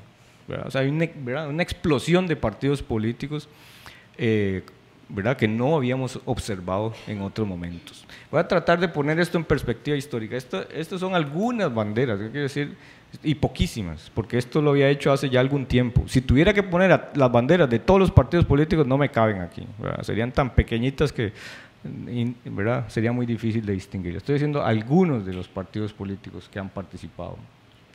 Pero déjenme entonces hacer un viaje como a, la historia para ver la evolución de este fenómeno a lo largo del tiempo. ¿verdad? Entonces podemos hablar de que hay al menos tres etapas del sistema de partidos a nivel local en Costa Rica. ¿Por qué hablamos de tres etapas? Bueno, porque hay una muy inicial de los orígenes, de, de las más, de lo que, donde más largo nos podríamos remontar, entre 1897 y 1948, con la presencia de algunos partidos que eh, eh, tratan de eh, movilizar a los votantes, pero más desde el punto de vista regional, ¿verdad? Y aquí casos emblemáticos son, por ejemplo, el Confraternidad Guanacasteca, el del doctor Vargas en la provincia Guanacasteca, el Provincial Josefino en 1921, ¿verdad? Vean que estamos remontándonos bastante en el tiempo, Unidad Provincial de Heredia. No estoy diciendo que estos sean partidos cantonales, no, es que movilizaban a la gente sobre, ¿verdad? sobre realidades más regionales, trataban de movilizar. Muchos de ellos han quedado invisibilizados en la historia por la predominancia de grandes fuerzas políticas, ¿verdad? Eh, las clásicas fuerzas nacionales partidarias. Pero también teníamos en, Limón, Pro Limón, Republicano Alajuelense. Sobresale uno en 1938, que es bien curioso, porque es la unión, se llama así, la Unión Mora y Turruares, ¿verdad? En aquella época en, las que participaban estos grupos, las elecciones municipales se hacían, en algún periodo, se hacían anualmente, eran elecciones anuales. Eh, después eso cambió, pero lo que digo es que habría esa posibilidad, esa, esa puerta y posibilidad. Esos son entonces los orígenes más lejanos que uno, pusiera, que uno quisiera eh, observar. Pero también entre 1949 y 1978 eh, tenemos un segundo periodo caracterizado ya ahora sí por Primero, por un aspecto que es la inestabilidad partidaria, ¿verdad? Es decir, partidos que eh, aparecían y desaparecían. Había una gran mortalidad de partidos políticos, ¿verdad? Surgían, pero no lograban, no lograban eh, permanecer más allá de una elección, ¿verdad? Incluso relacionado con este tema que Hugo mencionaba, ¿verdad? Que eran canceladas sus, eh, su inscripción ahí se, hemos detectado varios, digamos, varios partidos que lo hacían, pero también se daba un fenómeno en esa etapa muy particular. Y era lo que uno puede también llamar como el efecto trampolín. ¿Qué es el efecto trampolín? Bueno, eran partidos políticos que se inscribían a nivel local, a nivel cantonal primero, ¿verdad? Y que después, por reforma, se transformaban sus estatutos para ser o partidos provinciales o partidos nacionales. Y hay varios casos que, hicieron esa, que siguieron ese camino y esa dinámica. ¿Por qué ocurría eso? Bueno, porque era más sencillo, eran menos requisitos inscribir a un partido a nivel local, ¿verdad? Para dar el salto después a nivel eh, nacional, ¿verdad? Y eso ocurría, digamos, en este periodo. ¿Cuándo se rompe, digamos, ese, esa, esa, cuándo pasamos a una tercera etapa, que es más o menos de los 80 a la actualidad? ¿Cuándo aparece un partido bueno, primero aparece en el Big Bang de los partidos, es la explosión de eh, un montón de oferta, ¿verdad? Y cada es decir, cada elección se rompen los récords, ¿verdad? En el 16 hablamos de un récord de, partidos y ahora estamos hablando de que algo que es inimaginable, ¿verdad? En, en aquel momento. Cada vez eso ocurre. Entonces, una gran explosión de partidos, que ahora podemos hablar de cuáles. Pero hay una diferencia importante. Ahora sí esos partidos empiezan a permanecer en el tiempo. Ya son más, tienen más estabilidad, ya no hay tanta mortalidad de partidos. Sí la hay, pero hay algunos de ellos que permanecen en el tiempo. Además empiezan a controlar alcaldías, ¿verdad? Y a tener mayor presencia en los consejos municipales, ¿verdad? Eh, y esto, como digo, lo marca el surgimiento de un partido llamado La Jolita Nueva, ¿verdad? que se mantuvo durante un largo tiempo, entre 1982 y el 2006, ¿verdad? siendo un partido que competía a escala eh, local, ¿verdad? Y eh, prácticamente en todas las elecciones ganaba un regidor en Alajuelita, ¿verdad? Entonces era un partido, digamos, que marcó esa, esa, esa diferencia. ¿Cuáles otros ejemplos? Bueno, hubo otros eh, partidos, ¿verdad? a inicios de la Segunda República, digamos, a partir de los 50, que surgieron en, varios, en varias localidades. Por ejemplo, en Turrialba, en la Unión Independiente, en Palmares, en Desamparados, que es un caso emblemático también. Pero los dos partidos, los primeros dos partidos políticos que alcanzaron algún escaño de regidor fueron el Alianza Desamparadeña y el eh, Obrero Campesino en Paraíso. Y eso lo hicieron en 1978.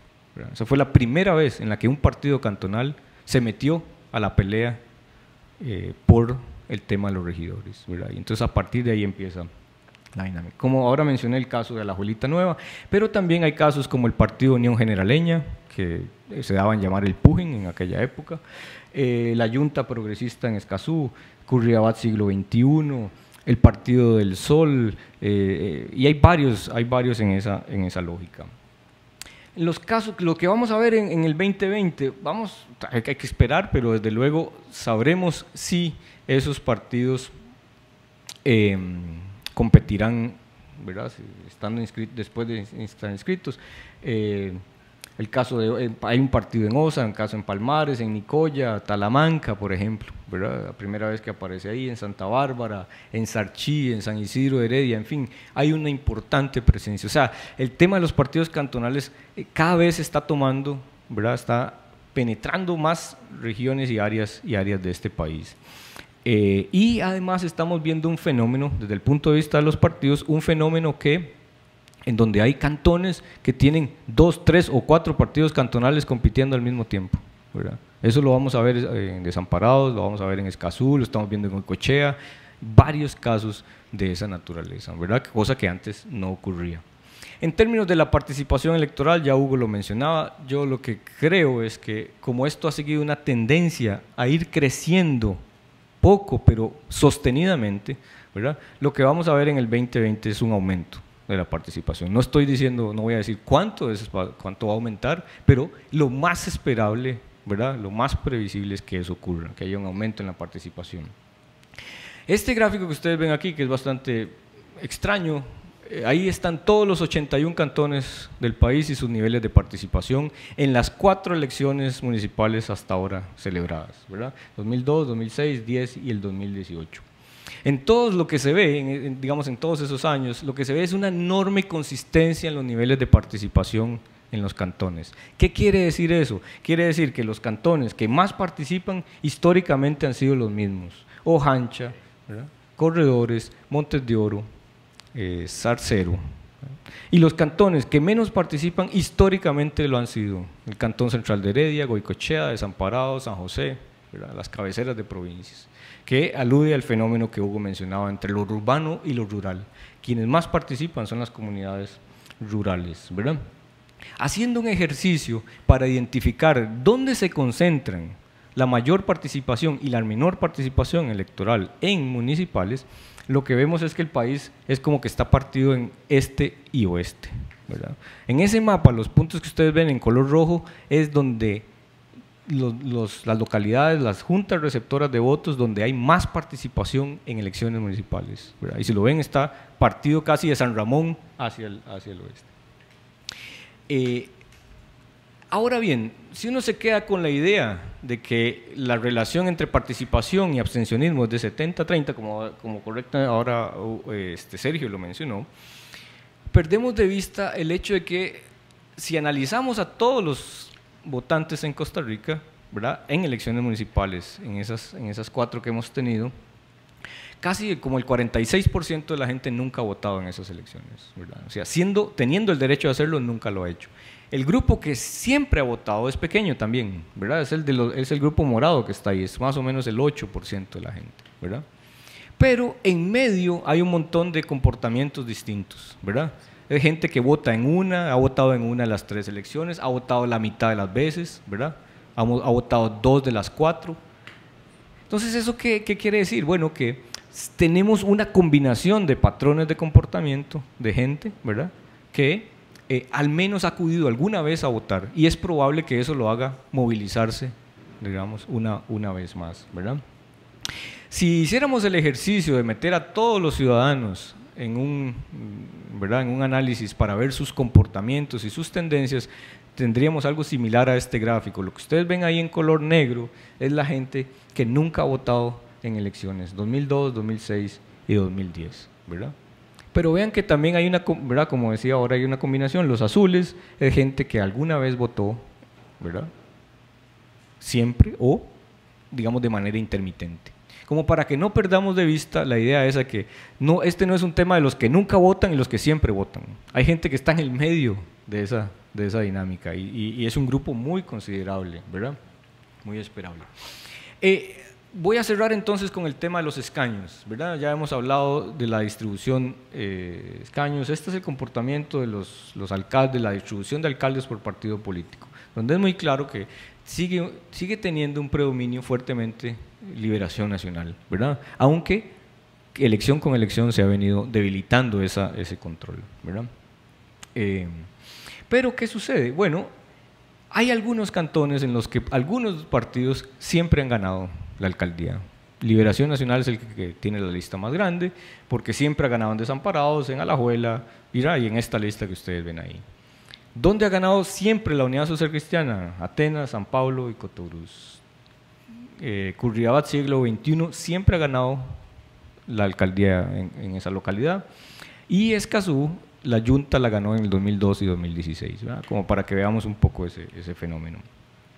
Esas elecciones, a pesar de no ser usualmente muy, eh, digamos, sobresalen, no sobresalen por muy alta participación, tienden a ser muy disputadas, ¿verdad? Vean que el casi el 75% de los cantones, la alcaldía se resolvió por menos del 5% de los votos válidos, ¿verdad?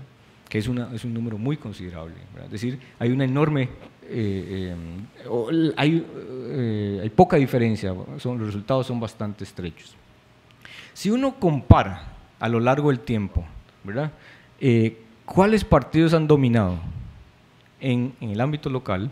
Se da cuenta que haciendo la lista completa, en 70 años, 103 partidos políticos han conseguido al menos un escaño en ese periodo, ¿verdad? Los cuales de ellos 37 son cantonales, para que vean que este es un fenómeno importante. Y si vemos en todo este periodo se han asignados o se han electo 7.000, 7.023 escaños de regidores, ¿verdad?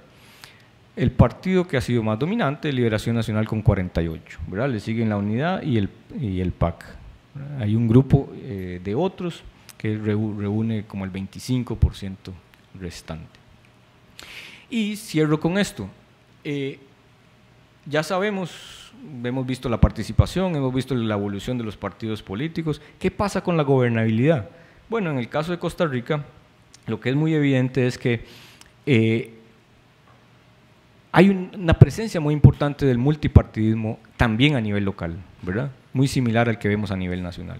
¿Por qué? Porque son muy pocos los casos de cantones en donde el alcalde el alcalde y la mayoría de regidores pertenecen a un mismo partido político, ¿verdad? que son los que ustedes ven en color más azul más oscuro en ese gráfico, en cada una de ellas predominan los cantones en donde el alcalde pertenece a un partido, pero la mayoría no está a su favor, ¿verdad? Lo cual es muy similar a lo que sucede en la Asamblea Legislativa, ¿verdad? Muy similar. El multipartidismo es muy importante a nivel, a nivel local. Y para, entonces, para terminar, plantearlo y, hacer dos anuncios puntuales. Uno es... Eh, en el sitio web del, de Votante Informado hay una herramienta que es para consultar los resultados de las elecciones municipales del 2016. Ustedes ahí pueden consultar cuántos votos obtuvo cualquier partido político en cualquier lugar de este país, en cualquier, hasta por junta receptora de votos. Si usted quiere saber de su cantón, ahí lo puede revisar, de su provincia lo puede revisar, pero también puede ver hasta por escuela o por centro de votación. Esa herramienta está disponible en el sitio web de eh, Votante Informado. Eso lo que va a hacer es que los va a redirigir hacia, una, hacia la misma herramienta que tenemos y que diseñamos en conjunto el Tribunal Supremo de Elecciones y el programa Estado de la Nación, para que ustedes consulten de manera fácil, interactiva, muy sencilla, muy rápida, cuál fue el resultado de, las, de esas elecciones eh, hace cuatro años. Eh, y también cierro diciendo que eh, ahora el próximo 13 de noviembre, que hacemos la presentación del, informe Estado de la Nación, va a tener también, vamos a incluir una herramienta eh, que, se, que va a tener información para cada uno de los 82 cantones de Costa Rica. Información que inédita, porque ustedes van a, ir, van a poder consultar, por ejemplo, el tema de las presas viales cuál es la situación cantón por cantón, van a poder saber los niveles de participación política, eh, los niveles de, eh, por ejemplo, de inversión social, cuánto invierten las municipalidades de sus cantones en temas como deporte, cultura, en fin. Esa herramienta también va a ser de muchísima utilidad en ese, en ese escenario. Gracias este, y eh, lo dejo por acá. Muchas gracias, don Ronald.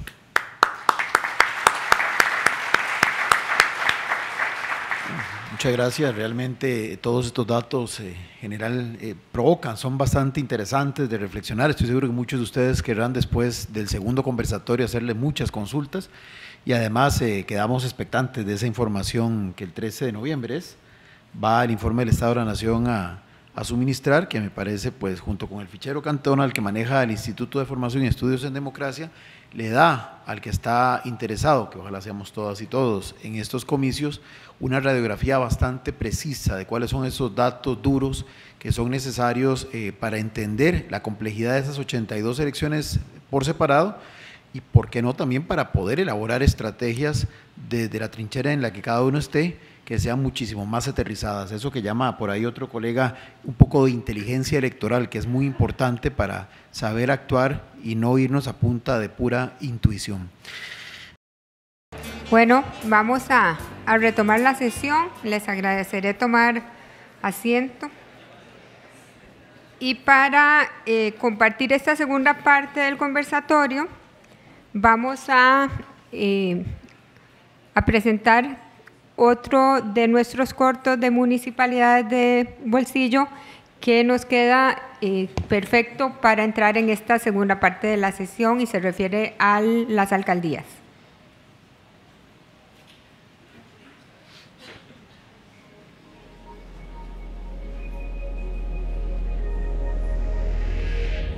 En el gobierno municipal es la alcaldía quien vigila que se cumplan los acuerdos, leyes o reglamentos y trabaja para hacer realidad los proyectos del plan de desarrollo del cantón.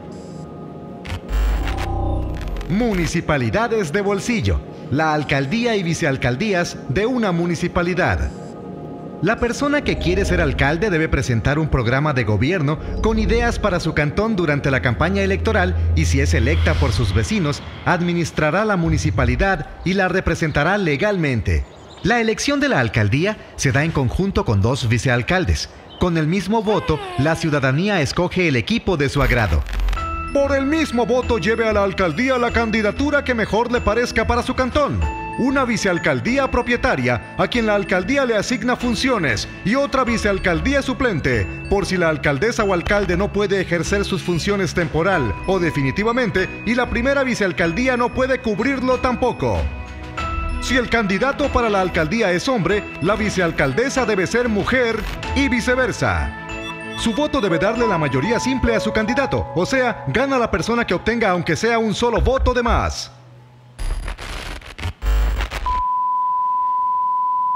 El alcalde o alcaldesa debe presentar su programa de gobierno al Consejo Municipal, asistir a las sesiones y exponer sus ideas y preocupaciones, pero no tiene voto en las decisiones que se tomen. Sin embargo, sí puede vetar o detener los acuerdos del Consejo si los considera ilegales o no hay recursos suficientes para realizarlos. Y si el Consejo no acepta la decisión de la alcaldía, la palabra final la tendrá el Tribunal Contencioso Administrativo del Poder Judicial. La alcaldía presenta las cifras específicas de dinero que se utilizarán en cada proyecto según el plan de desarrollo municipal que define el Consejo. Contrata, promueve y despide al personal de la municipalidad. Y al final de cada año debe contarle a las personas vecinas del cantón cómo hizo su trabajo.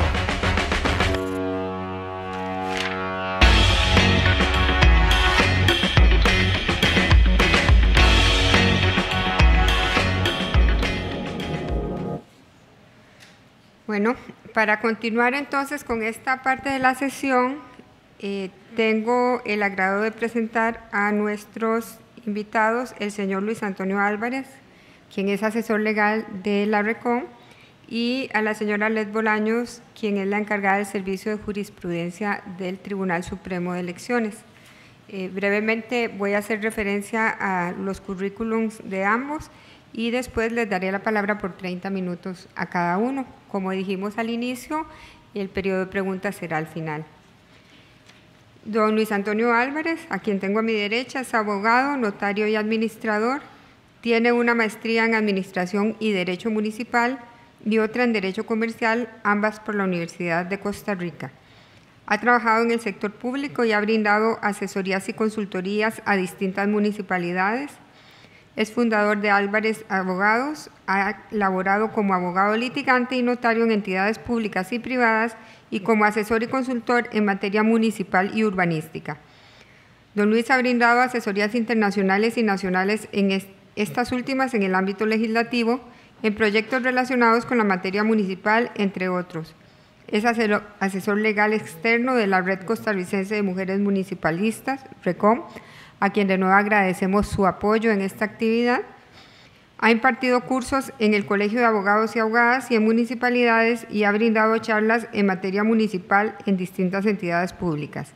Es autor de cuatro libros relacionados con los delitos contra la propiedad en Costa Rica, el régimen fiscal y el régimen municipal.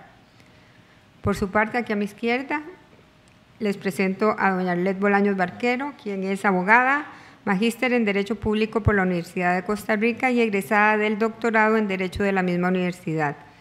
Desde el, desde el año 2002 es funcionaria del Tribunal Supremo de Elecciones, siendo por 11 años asistente legal de su presidencia y los magistrados, y a partir de 2008 coordina la oficina del Servicio de Jurisprudencia Electoral y Normativa de este tribunal. Integra el Consejo Editorial de la Revista de Derecho Electoral del TSE, ha laborado más de 23 años en la administración pública y ha escrito, dictado conferencias e impartido lecciones universitarias en temas administrativos, constitucionales y electorales. Agradecemos a don Luis Arlet su presencia en esta actividad y de inmediato le cedo la palabra a don Luis para que haga su exposición. Muy buenos días, señoras y señores presentes. Eh, bueno, para mí es un agrado estar el día de hoy. Podemos conversar algunas guías que traemos para que sean eh, abordados los temas que más nos interesan. Básicamente, eh, uno de los primeros temas que se ha considerado en este proceso de elecciones municipales convocadas para el mes de febrero del año 2020 por parte del tribunal.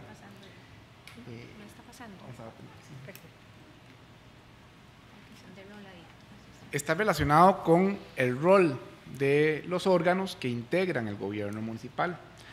El Tribunal Supremo de Elecciones aprobó el cronograma electoral eh, que regirá estas elecciones municipales para el próximo 2 de febrero, en el cual eh, se van a abarcar los 82 cantones del país, incluyendo Río Cuarto, eh, recientemente incorporado como cantón de la provincia de La Juela, y básicamente se elegirán más de 6.000 puestos municipales en este proceso electoral, que incluye tanto alcaldes, vicealcaldes, regidores, propietarios y suplentes, síndicos, propietarios y suplentes, concejales de distrito, concejales municipales de distrito, intendentes, viceintendentes y concejales eh, propiamente de distrito.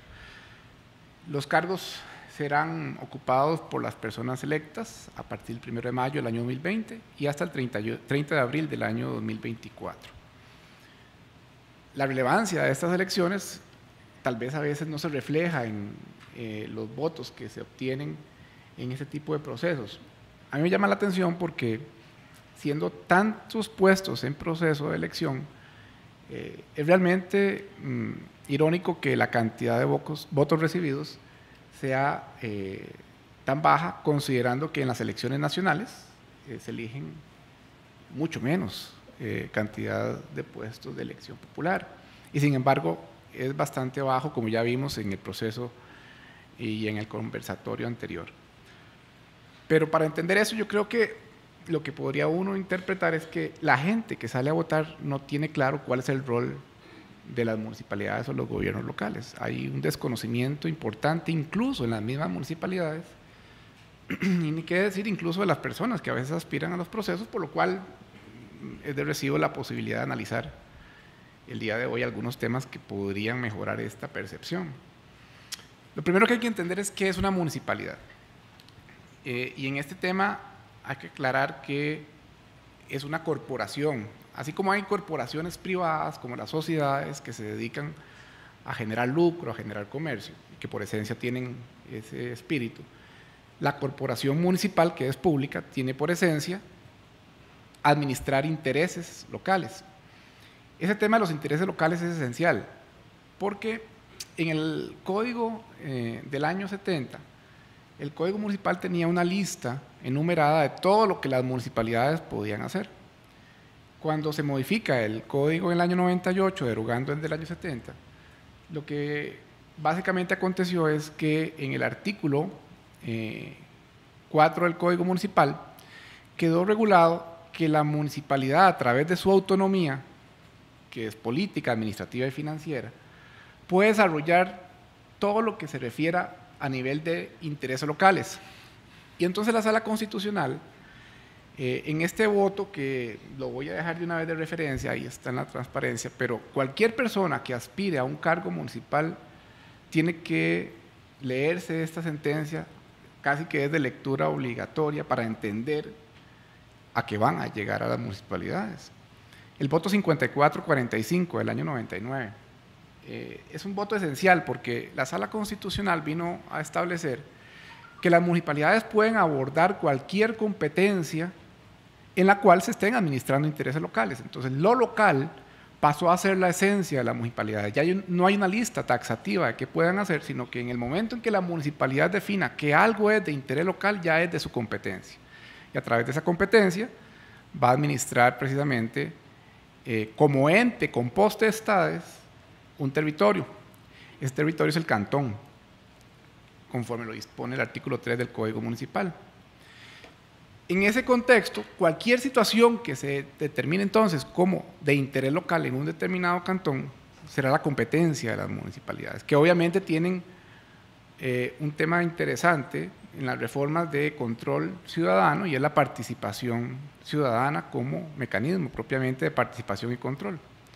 Las municipalidades no son independientes, no son repúblicas independientes y tienen que coordinar todo lo que hacen con las autoridades nacionales y con los entes rectores en las materias que correspondan. Ahora bien, a lo interno, sabiendo que la municipalidad es un ente, es una persona, también hay que entender que tiene una serie de órganos que no son eh, por sí solos independientes al gobierno local, pero que interactúan. Es una danza de funciones, de pesos y contrapesos. Antes del año 2009, las eh, estructuras municipales determinaban una especie de jerarquía que se había mantenido de, de la emisión del código del año 98 por una razón. Recuerden que fuimos uno de los últimos países latinoamericanos en establecer que la elección del órgano ejecutivo alcalde fuera de elección popular. Cuando se emite el código en el año 98, el alcalde o ejecutivo municipal en aquel entonces era designado a dedo por el Consejo Municipal en una elección privada del órgano colegiado, que es el Consejo Municipal. Cuando se modifica el código electoral y el alcalde pasa a ser de elección popular, esta jerarquía, alcalde, eh, o el alcalde dependiendo del consejo, no tenía sentido. Eran dos órganos que habían sido electos popularmente y ninguno había sido nombrado por el otro. La sala primera de la Corte Suprema de Justicia, eh, para el año 2008, eh, dicta una sentencia que era completamente lógica, que la sentencia 776 del año 2008, en la que determina que estos dos órganos, alcalde y consejo, tienen funciones muy diferentes, las del consejo reguladas en el artículo 13 y las del alcalde reguladas en el artículo 17, que siendo dos órganos de elección popular, ninguno podría ser jefe del otro y las competencias de uno y otro no se pueden traslapar. Y que en realidad lo que existe es un gobierno bifronte, no obstante, eh, esa sentencia eh, de la sala primera se salía de lo que decía el Código Municipal, que todavía establecía la jerarquía alcalde-consejo. Entonces el Tribunal Contencioso seguía desconociendo esa línea y seguía diciendo, dentro del punto de vista de legalidad, que la jerarquía se mantenía y que el Consejo podía revisar las actuaciones del alcalde porque así estaba en el código al determinarse que el Consejo conocía los recursos de apelación de lo que actuara el alcalde y que lo podía, por supuesto, revocar al ser un recurso. Eso daba temas realmente irónicos, entre ellos, por ejemplo, que el alcalde pudiera nombrar a una persona y el Consejo en apelación tomara la decisión de nombrar otra, revocando la decisión del alcalde. En un tema en el, en el cual el Consejo, de acuerdo al artículo 13, no tiene ninguna competencia porque el administrador general es el alcalde. Eso genera una reforma que finalmente, eh, efectivamente, se presenta ante la Asamblea Legislativa y se procesa eh, el proyecto de ley y reforma el Código Municipal, eh, determinando que alcalde y consejo son dos órganos que no tendrán relación. Y mediante la ley número 8773 del 1 de septiembre del año 2009, todo el esquema cambia. Entonces tenemos un antes y un después de esta reforma. Antes de la reforma, el alcalde era jerarca, perdón, eh, dependiente en jerarquía del consejo, por consiguiente el consejo era jefe del alcalde. Pero después de esta fecha, todo esto se cambia y se rompe esta jerarquía. Y hoy por hoy, a partir de la reforma, la sentencia de las que les comentaba, la 776 de la sala primera, toma total vigencia. No tienen relación entre sí, desde el punto de vista jerárquico. El artículo 13 del Código Municipal entonces determina el campo de acción de competencias del Consejo y el artículo 17 las del alcalde. Ahora bien, ya vamos a entrar en detalle respecto de cada una de ellas. Pero teniendo claro que no son dos órganos que dependan jerárquicamente entre sí, nos lleva a una municipalidad sumamente dinámica. Eh, y hay que entender, porque todavía hay resabios de aquel sistema del año 98, antes de la reforma, que todavía algunas personas creen que el alcalde tiene que someterse al consejo. Eh, aunque hay sistemas de control como el veto, que lo mencionaba ahora la presentación, en el cual el alcalde puede ejercer cierto control de legalidad sobre los acuerdos del Consejo. Ya lo vamos a ver en detalle. Para entender entonces este tema, tenemos que aclarar cuáles son los roles de las, eh, y las funciones de cada uno de estos órganos. Vamos a empezar por el alcalde, y no porque sea más importante que el Consejo, sino porque es eh, el que en algún momento determinado marca algunas prioridades de desarrollo del cantón en cuanto a la presentación de planes y otros instrumentos. El alcalde es el administrador general de la municipalidad, eh, administra recursos, administra territorio, es el encargado de representar a la municipalidad ante procesos judiciales, ante otras instituciones.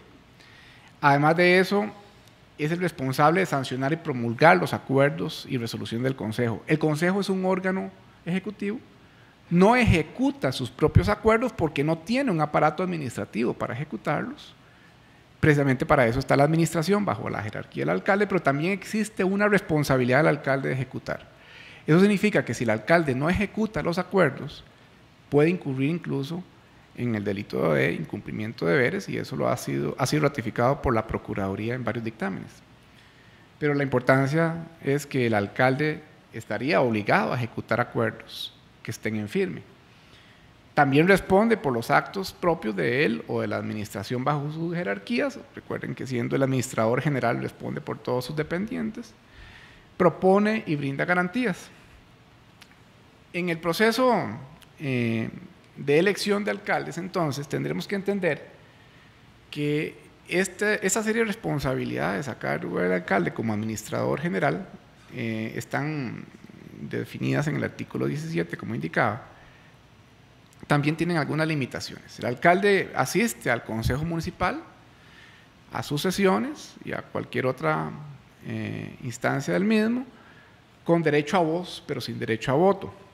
Hay reformas que han andado en la Asamblea Legislativa y algunas ideas para que el alcalde tenga derecho a voz y a voto, Incluso algunos han propuesto que debería presidir el Consejo Municipal. Yo creo que sería un error porque el avance de las reformas es que los dos órganos eh, interactúan en sus competencias. De meter al alcalde en la presidencia del Consejo Municipal significaría eh, romper ese esquema de competencias hasta el día de hoy ha sido bastante claro.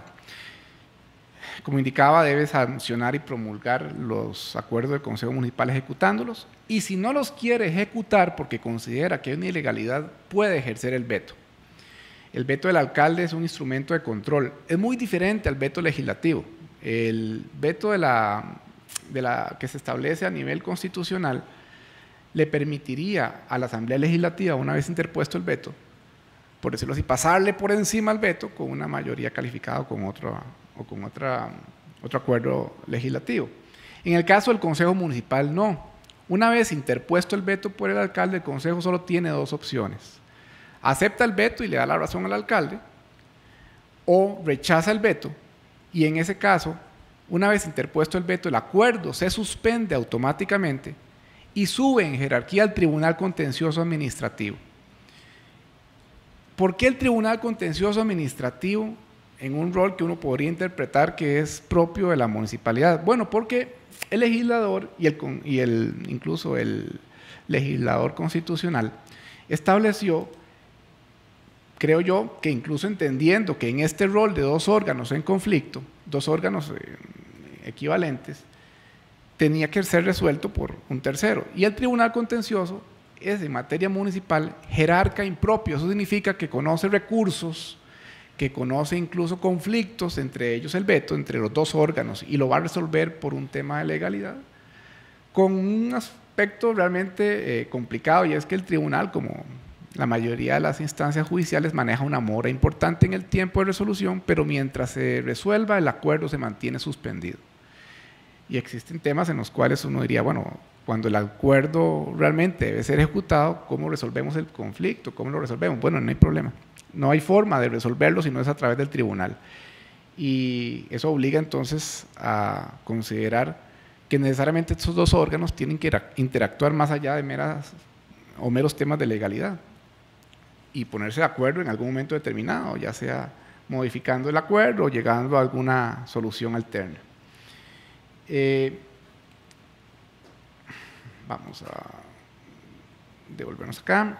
Desde el punto de vista eh, de las funciones del alcalde, otro de los temas a considerar es cuáles son las competencias propias en materia administrativa.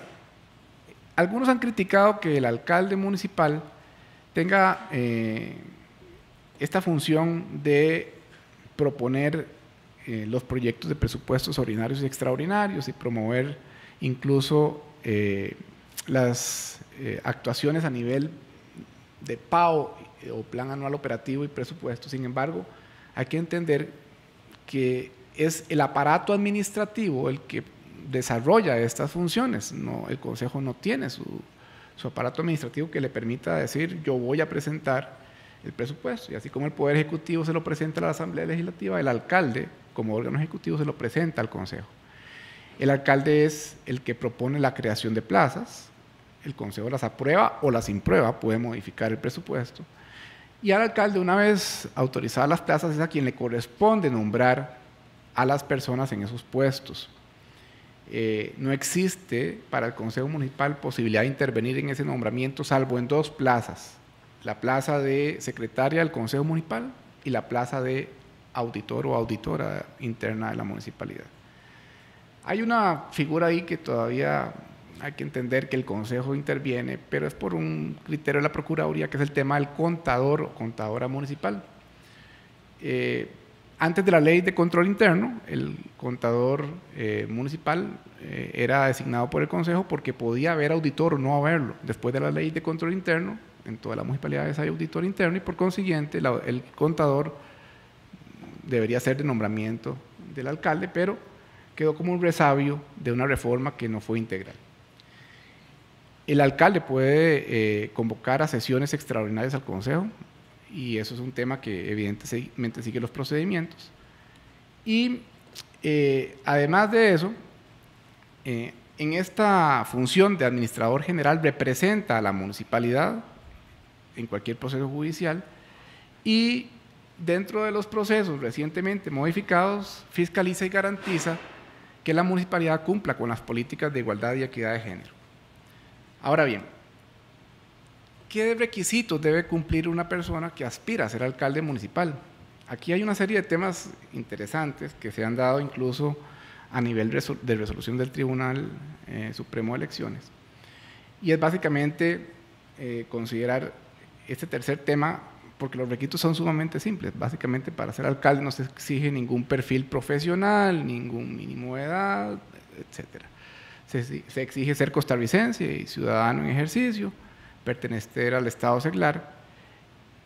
Y el tercer tema, que es el que más genera, generalmente genera más conflicto, es el estar inscrito electoralmente por lo menos con dos años de anterioridad en el cantón donde se a servir el cargo. Pero hay que aclarar que estar inscrito en el cantón no es solamente un requisito previo. Una vez electo alcalde, debe permanecer residiendo en el cantón. Y eso el tribunal ha sido bastante claro en establecer que es un requisito para ostentar el cargo que podría perderse por una condición sobreviniente, como por ejemplo que se traslada a residir a otro cantón, y eso ha sido analizado en el caso del alcalde de San José en algún momento por temas y valoraciones que ya el tribunal ratificó que se mantienen durante todo el ejercicio del cargo.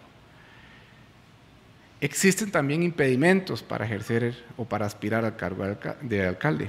Eh, para quienes estén inhabilitados por sentencia judicial firme, los funcionarios o empleados eh, a los que se les prohíba participar en actividades político-electorales. Eh, estas incompatibilidades afectarían a quienes dentro de los seis meses anteriores a la fecha de las elecciones hayan desempeñado esos cargos, de manera que quienes ocupen puestos de ese tipo tendrían o que solicitar un permiso sin goce de salario o renunciar al mismo. Pero la imposibilidad de ejercer el cargo se mantendría en caso de que a los seis meses no lo haya eh, desarrollado. Finalmente, con relación a causas que generan la pérdida de la credencial de alcalde municipal, tendríamos que decir eh, que son básicamente cinco. La primera es perder el requisito eh, o adolecer de un impedimento, lo del requisito de la, del domicilio ya lo aclaramos. El ausentarse injustificadamente de sus labores por más de ocho días, ser declarado por sentencia judicial firme, y aquí el tema de firme es fundamental, eh, porque pueden haber personas con procesos judiciales en curso o incluso con sentencias impugnadas que mientras esas condiciones no, se, no sean resueltas, tendrían el derecho de aspirar al cargo. Cometer una falta grave contra las normas del ordenamiento de fiscalización y control de la hacienda pública o contra la ley número 8422 este tema es importante aclararlo. Por resolución de la Sala Constitucional ya se dirimió la competencia entre el Tribunal Supremo de Elecciones y la Contraloría. Le corresponde a la Contraloría realizar los procesos de fiscalización, los eh, denominados procedimientos administrativos con órgano director, y recomendar al Tribunal Supremo de Elecciones la implementación de la sanción, que en este caso sería la cancelación de la credencial por ser un funcionario de elección popular eh, de manera que por principio de paralelismo de formas, solamente el tribunal que otorgó la credencial la podría revocar previo debido proceso por cuenta de la Contraloría. Y por supuesto renunciar voluntariamente al puesto, eh, lo cual también ha ocurrido. Con los vicealcaldes tenemos un tema importante y es que los vicealcaldes, bueno, tenemos dos vicealcaldes, el primero y el segundo, que tienen roles muy diferentes. Eh, en el caso de ambos, tienen como funciones esenciales ejecutar funciones administrativas. Particularmente los vicealcaldes primeros tienen salario, un 80% del que le corresponda al alcalde, y ambos en realidad pueden suplir las ausencias del alcalde dependiendo del rol de cada uno y en la prioridad del orden de designación. Eh, con relación al vicealcalde primero, les comentaba que sí, efectivamente tiene un rol administrativo preponderante, con las funciones administrativas y operativas que le asigne el alcalde. Han existido bastantes antecedentes de situaciones en las que el conflicto alcalde-vicealcalde se evidencia días o meses después del proceso de elección. Esas situaciones las dirime el tribunal cuando se presentan eh, amparos electorales o procesos de consulta, pero básicamente se determina que es el alcalde quien eh, establece cuáles son las funciones operativas del vicealcalde. Que eh, también hay que aclarar que por resolución o por dictamen de la Procuraduría, de forma automática, ante la ausencia de un alcalde, quien le suple es el vicealcalde. No es necesario eh, que sea autorizado por el Consejo Municipal, porque no es el Consejo Municipal el que determinó que el alcalde era electo o el vicealcalde lo suplía, sino que esa papeleta fue eh, otorgada por la elección popular o ese cargo fue otorgado por la elección popular, de manera que la sustitución en realidad en ausencia es automática. Cuando el vicealcalde primero no puede sustituir al alcalde, ya sea por impedimento o por ausencia también, sustituye el vicealcalde segundo, con las mismas responsabilidades y competencias durante el plazo que ejerce el cargo. Eh, Con el tema de los regidores, bueno, el, el Consejo Municipal es un órgano colegiado, es una mini asamblea legislativa. Y los que en realidad estén acostumbrados a consejos municipales pequeños, es por la cantidad de habitantes del cantón, pero existen consejos municipales sumamente complejos. El de San José es prácticamente una asamblea legislativa con los alcaldes, con los regidores propietarios, los suplentes, los síndicos propietarios, los suplentes. Estamos hablando de un órgano colegiado conformado por más de 40 personas. Eh, otras municipalidades, como las cabeceras de provincia, eh, básicamente van a tener también consejos complejos por la cantidad de habitantes. Los eh, regidores como tal tienen una serie de funciones un tanto diferentes, porque representan a los electores, legislan a nivel local y emiten eh, criterios proponiendo incluso temas de viabilidad y su interés. las competencias no las vamos a entrar a detallar, son sumamente amplias, están en el artículo 13 del Código Municipal, pero sí me interesa que veamos brevemente cuáles son los deberes y obligaciones de los regidores propietarios. Concurren a las sesiones del Consejo Municipal, votan en los asuntos que sometan a su decisión.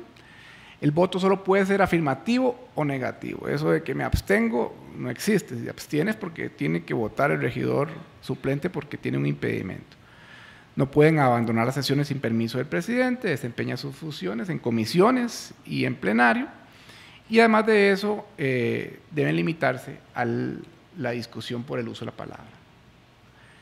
Las facultades de los regidores municipales es básicamente participar en el plenario formulando mociones eh, o pidiendo la revisión de acuerdos. Pueden apelar la decisión del Consejo ante el presidente. En esto se recomienda siempre que haya un reglamento de funcionamiento de sesiones del Consejo Municipal y pueden solicitar la convocatoria también a, eh, a sesiones extraordinarias. Los deberes y obligaciones de los regidores básicamente eh, son las mismas eh, de, los, de, los, suplentes a los propietarios, les suplen 15 minutos después eh, en forma permanente de la ausencia del propietario. Y, y finalmente eh, las, los requisitos para ser regidores son muy similares a los del alcalde, ser ciudadano en ejercicio, pertenecer al Estado seglar, haber cumplido al menos 18 años, estar inscrito como elector en el cantor que corresponda y ejercer el domicilio por lo menos con dos años de antelación, al igual que el alcalde municipal. Impedimentos para ser regidores, básicamente no pueden ser regidores los funcionarios o empleados a quienes les esté prohibido participar en actividades políticas, los inhabilitados por sentencia firme y los afectados por prohibiciones de otras leyes especiales. Causas de pérdida de la credencial del regidor, el adolecer de un impedimento, al igual que el alcalde, la ausencia injustificada de las sesiones del Consejo por más de dos meses en forma consecutiva, la renuncia voluntaria y conocida por el Consejo Municipal, la enfermedad que lo incapacite permanentemente y eh, se le puede autorizar por un plazo máximo de seis meses permisos eh, de ausencia en caso de que el regidor lo solicite. Estas prohibiciones básicamente, tanto para alcalde como para regidores, es importante considerarlas. Eh, no pueden intervenir en asuntos de discusión en los cuales estén interesados directamente, no pueden percibir dinero o bienes de patrimonio municipal, salvo su salario o las dietas, no podrán intervenir en asuntos o funciones de su competencia que competan a otro órgano, eh, el respeto a las competencias de uno y otro, no pueden integrar comisiones para, festejos populares, y deben excusarse de participar en la discusión de asuntos en los cuales evidentemente tengan interés directo. Además de estos dos órganos superiores de gobierno, consejo y alcalde, otro, existe otro órgano eh, de menor jerarquía, que es el eh, de los síndicos que conforman los consejos de distrito.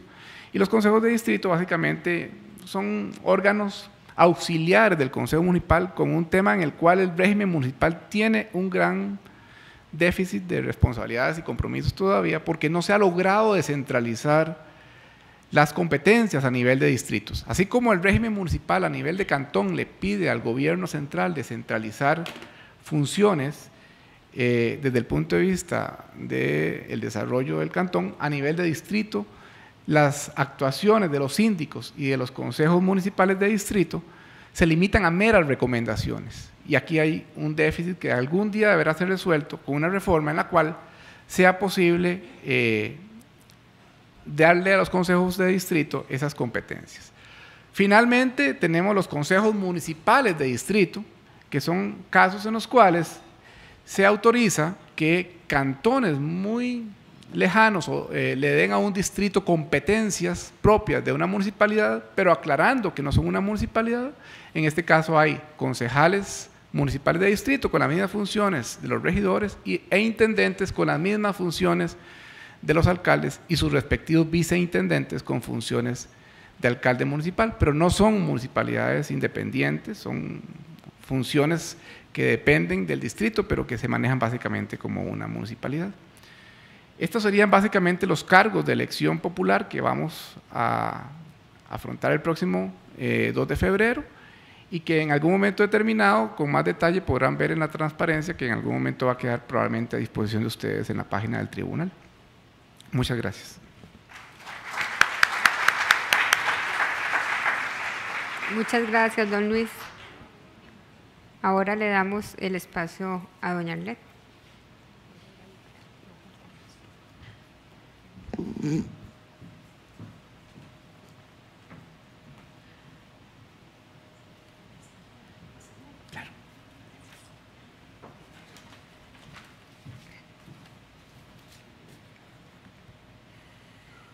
Buenos días.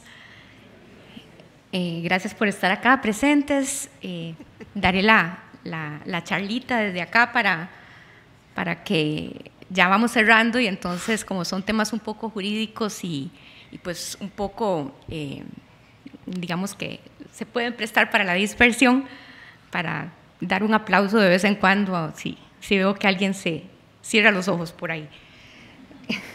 Eh, el tema que nos corresponde ahorita es prácticamente un resumen de lo que ya los, compañeros han, han, señalado, porque eh, es donde se dirimen principalmente los conflictos, eh, dudas o cuestionamientos que puedan darse en el tema electoral municipal específicamente, es decir, lo político electoral municipal, que es lo que corresponde regirlo al propio Tribunal Supremo de Elecciones. Entonces vamos a hacer la separación eh, muy básica y peco de básica porque la verdad lo municipal ya vieron que es sumamente amplio y, 30 minutos por expositor cuesta mucho que se abarque eh, toda la información necesaria y menos en una mañana que todos podamos este, consumir todo lo que nos están diciendo ahorita. Entonces, eh, Principalmente empezamos con temas eh, a considerar en el electoral municipal. ¿Y qué es lo primero que podemos ver? Es que no le corresponde al Tribunal Supremo de Elecciones.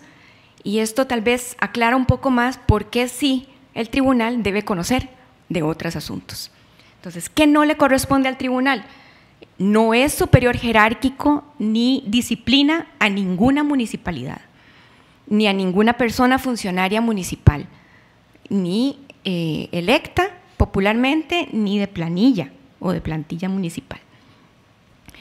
Luego, el tribunal no resuelve asuntos internos propios de la administración municipal, es decir, lo que se da en el seno del consejo, em, opiniones de las personas, los asuntos de contaduría, administrativos y demás, no le corresponden al Tribunal Supremo de Elecciones. ¿quiénes podrían ver los asuntos eh, del Estado, eh, perdón, del, gobierno municipal en, temas específicos como los que estamos señalando en el punto 3 de primera instancia, sin perjuicio de que si hay alguna recomendación para cancelar credenciales, eso sí venga acá al Tribunal Supremo de Elecciones. Como por ejemplo, bueno, el tema de dineros del Estado, eso lo ve la Contraloría General de la República, el tema de la zona marítimo terrestre, eso le toca pues a la Procuraduría General de la República, incluso con municipalidades de zonas costeras. Eh, la ética pública, Procuraduría de la Ética, asuntos penales, Ministerio Público, Poder Judicial, adiestramiento, Alifam, SICAP, RECOM, cualquiera de estas instituciones, ¿verdad? Que Unión de Gobiernos Locales que se encargan de capacitar a las, a las personas en las municipalidades, Otros asuntos internos, la Procuraduría, el IFAM, la propia Sala Constitucional en cuanto a la integración este, de algunas este, estructuras o demás, o em, violaciones a derechos constitucionales que no sean político-electorales. Y el Tribunal Contencioso Administrativo, como don Luis nos señalaba, con una jerarquía impropia en el caso de asuntos superiores, o bien ya cuando se, lleva, se necesita dirimir algún conflicto que tenga relación con lo contencioso administrativo. Luego, entonces, ¿qué sí le toca hacer al tribunal en la materia electoral municipal? Es garante de la elección, es decir, es el poder electoral conceptualizado constitucionalmente para que defina quiénes, las, quiénes eh, haciendo caso y, revisando a conciencia y con el cuidado debido la voluntad popular quiénes son las personas que quedaron electas y entonces a través de eh, los mecanismos que conocemos de, proceso electoral, entrega credenciales luego de una declaratoria oficial de, elecciones. Y así como entrega credenciales, también las puede cancelar. La ley le da esa potestad, vela por los derechos político-electorales fundamentales derecho al sufragio activo y al sufragio pasivo. Sufragio a veces pensamos que es un sinónimo de voto y nada más, pero en realidad no. Y pues acá en el auditorio nos acompañan eh, personas que están encargadas de la organización electoral para el próximo proceso. Y desde ese momento en que se designan oficinas y procesos y programas, ya todo eso es parte del sufragio pasivo y del sufragio activo. Es decir, que las personas puedan ser electas, sufragio pasivo, y tengan también el derecho a elegir sufragio activo. Activo porque es una acción, acción de votar. Entonces, eh, todo este proceso previo, durante la jornada y posterior, también le corresponde al tribunal determinar y garantizar esos derechos de las personas, como por ejemplo mantenerse en el cargo para el que fueron electas y poder ejercerlo con todas las libertades y garantías eh, que les da la, Constitución y las normas y las leyes. Luego el tribunal resuelve, perdón, vela por los principios y garantías constitucionales, como por ejemplo la neutralidad política electoral de las personas en la función pública. Entonces, ahorita en un ratito vamos a ver eh, parte de los temas de justicia electoral donde le corresponde al tribunal garantizar también esto. Es decir, las personas tienen que, sobre todo si trabajan en la función pública, ser garantes de esa neutralidad y objetividad para que todo mundo que llegue a participar en una elección, ya sea como candidaturas o votantes, se sientan con esa tranquilidad de acudir a una elección limpia y democrática que el tribunal pues lleva garantizando eh, desde el año 1949, 53 fue la primera elección y este próximo va a ser el proceso número 25 electoral que el tribunal organiza. El tribunal resuelve en materia de justicia electoral como juez de la República, es decir, sus magistrados y magistradas son jueces de la República, tocan temas de sustituciones, de inscripción, domicilio, como nos explicaba don Luis, actuaciones impugnables también en materia electoral, ahora las vamos a repasar rápidamente. Eh, para esta resolución como juez electoral hay dos instancias en el tribunal, creadas jurisprudencialmente y también a través de un reglamento para su funcionamiento. Estas instancias eh, están conformadas por magistratura suplente. La primera y magistratura en propiedad, la segunda instancia y final. Luego también brinda asesoría, acompaña y resuelve conflictos en temas de consultas populares municipales. Permiso.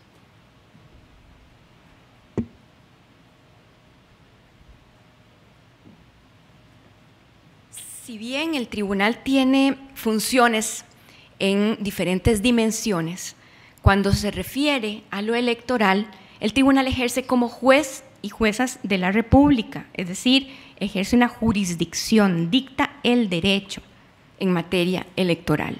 Entonces, lo que el tribunal dice tiene eh, vinculancia y es obligatorio de aplicación y es quien dice la última palabra en materia electoral, no así en las otras vías, registral civil o administrativas que también el tribunal trabaja.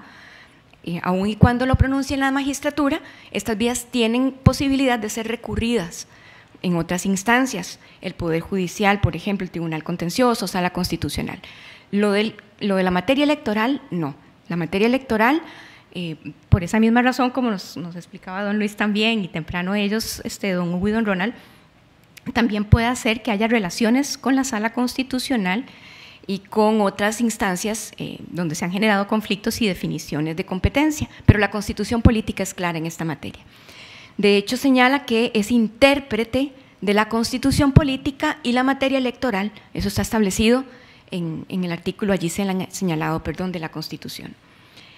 ¿Qué le corresponde al tribunal y lo ha hecho en temas municipales? Llenar lagunas de hecho, el Código Municipal, si bien ha tenido sus reformas importantes en el 98, en el 2007, en el 2008, en el 2009, em, pues todavía la materia necesita algunas explicaciones y llenar vacíos, porque no hay claridad, sobre todo en estos temas electorales. Entonces el tribunal ha venido a llegar a llenar esas eh, lagunas y ha declarado y ha aclarado también qué corresponde en cuanto a eso que les hablábamos antes de sustituciones, de integraciones, de plazos y demás relacionados con, temas este, propiamente municipales.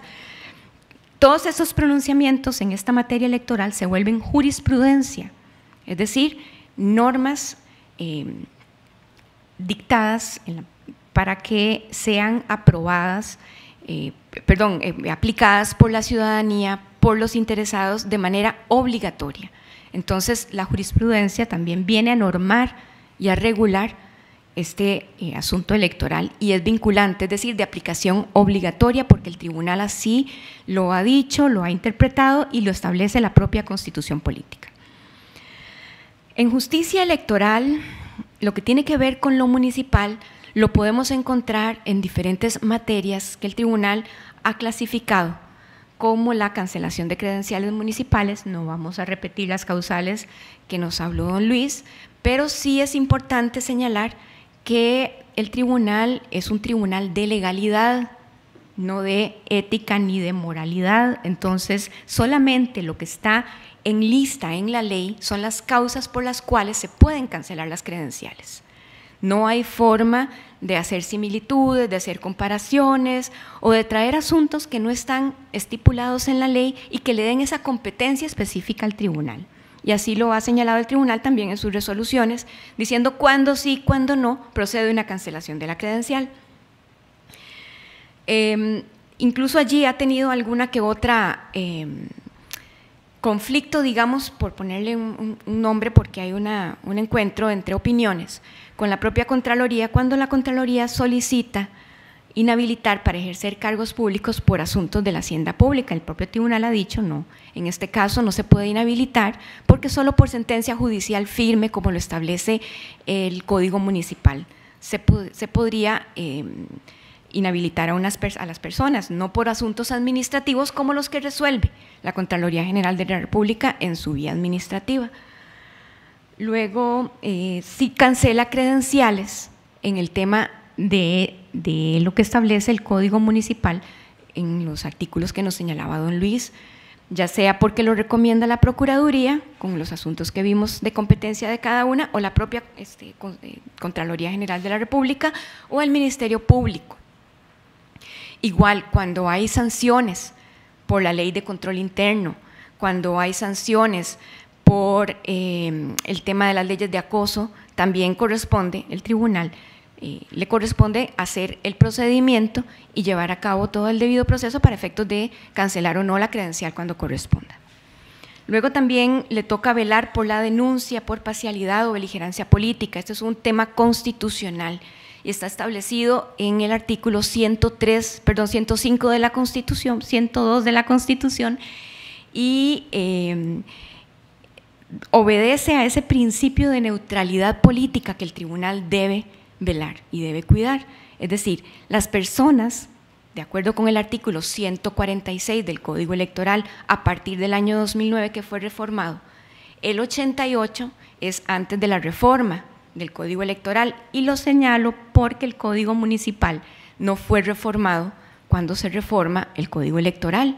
Entonces sigue mencionando al artículo 88 como referencia a la beligerancia política, pero el tribunal ha señalado en su jurisprudencia que aplica el 146 en el mismo sentido que señala la aplicación del 148. Entonces eso es importante tenerlo claro. ¿Qué dice el 146? Que las personas no, que trabajan en la función pública no pueden eh, participar en política cuando les está prohibido o en los eh, asuntos que corresponda en horario laboral, con ocasión del cargo o utilizando los recursos que le da el Estado para laborar. Son dos párrafos los que están conformados eh, los que conforman ese artículo. El segundo es una lista taxativa de, cargos que tienen una prohibición absoluta. Entre esa prohibición estamos quienes trabajamos en el Tribunal Supremo de Elecciones, la fuerza pública también, eh, que no podemos hacer más nada que votar el día de las elecciones. En el primer párrafo del 146 del Código Electoral están el resto de personas que no están en el segundo párrafo, entre esas todas las que trabajan en la función eh, municipal, incluyendo a los que son de elección popular. Entonces, ¿qué pueden y qué no pueden hacer? Y esto se complementa con lo establecido en el artículo 14 que también del Código Municipal, que también fue reformado en el 2007 y después en el 2009 con el Código Electoral establece que todos los cargos de, elección popular municipal pueden ser reelectos, todos, ¿verdad? Entonces, ¿qué significa eso? Que las personas sí pueden participar en política y eso lo ha establecido el tribunal de esa manera. Es decir, pueden hacer proselitismo, pero ¿cuándo? Fuera de horario laboral, fuera eh, sin usar el cargo para, para aprovecharse y decir, estoy en el poder y entonces si votan por mí, en la próxima eh, yo pues les puedo ayudar para seguir con lo que tenemos y también sin usar los recursos que les da el Estado. Vehículo, computadoras, correo electrónico, celular, etc. Todo eso el tribunal lo ha señalado en, esta cuestión de la beligerancia, por eso es importante revisarlo. Pueden sacar vacaciones, permisos y demás a efectos de no ejercer proselitismo ni campañas políticas en horas laborales. El recurso de amparo electoral son formas de defender los derechos político-electorales, lo que hablábamos del sufragio activo, el sufragio pasivo. Es importante eh, señalar que el tribunal también puede resolver y rechazar o no esos recursos de amparo, dependiendo de si la materia está claramente eh, definida que se está afectando un derecho. Entonces hay un estudio de admisibilidad previo, ¿verdad? Eh, todo es en político electoral. Si el tema tiene que ver con otros derechos fundamentales, va a la sala constitucional. ¿Qué? Perdón, creo que me brinqué estos. La apelación electoral son temas eh, también de justicia donde el tribunal resuelve en instancia superior lo que dicta cualquier órgano y cualquier entidad que, aunque no esté acá en el Tribunal Supremo de Elecciones, pero en materia electoral, como por ejemplo en consultas populares municipales el tribunal puede conocer en alzada o en apelación, tres días después de que se interponga, perdón, tres días después de que se dicte el acto que tiene que conocer, tres días hábiles, por ejemplo, si un consejo eh, rechaza o se pronuncia de algún tema electoral que tiene que ver con las consultas populares. Ya el tribunal lo ha hecho en los diferentes plebiscitos que se han organizado a nivel municipal. La hermenéutica electoral, esa es una palabra compleja para para los que estamos fuera de lo jurídico o los que están fuera de lo jurídico, pero bueno, así la ha definido el tribunal lo que son las opiniones consultivas y las interpretaciones que se le pide al tribunal que haga de la normativa electoral, desde la constitución política hasta cualquier otra norma que tenga que ver con lo electoral. Entonces, las jerarquías el presidente del consejo, el alcalde municipal, la auditoría interna, pueden hacerle consultas al tribunal directamente de asuntos que tienen duda de materia electoral. Y las consultas populares municipales, eh, bueno, que ya más adelantito las vamos a ver por aparte, porque no tienen un asunto contencioso como tal de por medio. Eh, vamos a ver luego cómo el tribunal las maneja. ¿Cómo se tramita lo de justicia electoral acá? Bueno, hay asuntos contenciosos, es decir, que hay un, problema, un pleito, ¿verdad? un litigio entre dos personas o entre dos entes y el tribunal es el árbitro, tiene que resolverlo. Y hay asuntos no contenciosos, es decir, donde no hay un conflicto realmente, ¿Qué es un algo no contencioso? Las opiniones consultivas, las interpretaciones, las declaratorias de una elección, ya sea por plebiscito, perdón, por, por, por referéndum o plebiscito este, como el que hubo ahora en Río Cuarto para definir la cabecera del cantón. Luego tenemos expedientes de tramitación interna. Perdón, en esos expedientes de tramitación interna al tribunal, eh, pues los asuntos los recibe, hay una oficina de admisibilidad, revisa que sean admisibles, que cumplan requisitos y se turnan a la persona magistrada que corresponda según el orden del turno que va. Esa persona magistrada hace la instrucción del asunto, propone eh, borradores y demás, hace las prevenciones a las partes como necesita, notifica y propone el borrador al resto del tribunal. El tribunal revisa el expediente, revisa eh, el asunto y firman lo que corresponda y es notificado. Ese es un resumen bastante resumido del proceso.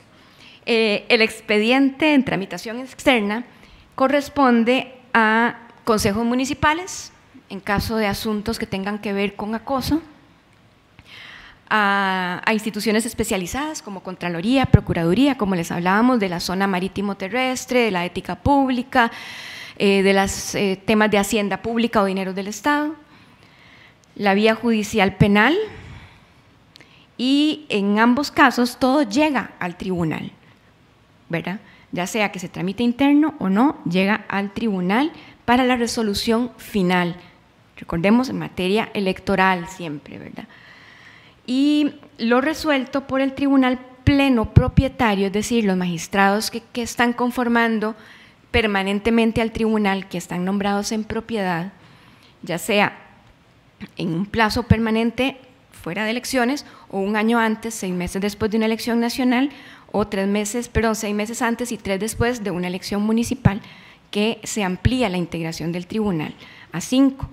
Entonces, cualquiera de esos tres o cinco que conforman el pleno propietario son los que tienen la última palabra en estos temas luego de que, de que ya pase por todo el debido proceso. Incluso puede ir hasta una inspección electoral eh, que sea necesario para efectos de verificar ese debido proceso en temas de ausencias eh, que haya un conflicto, o sea, que la persona diga, no, mire, yo no me ausenté, realmente tengo un permiso, y que el Consejo Municipal diga, no, pues el permiso no, no existe o no está, entonces hay un, como un conflicto que tiene que ser resuelto también este, e investigado un debido proceso.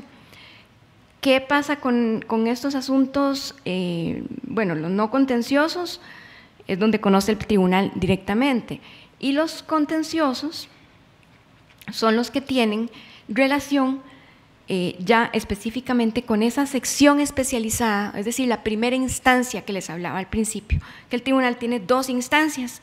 Esa primera instancia eh, está conformada por suplentes y el tribunal dicta la primera sentencia.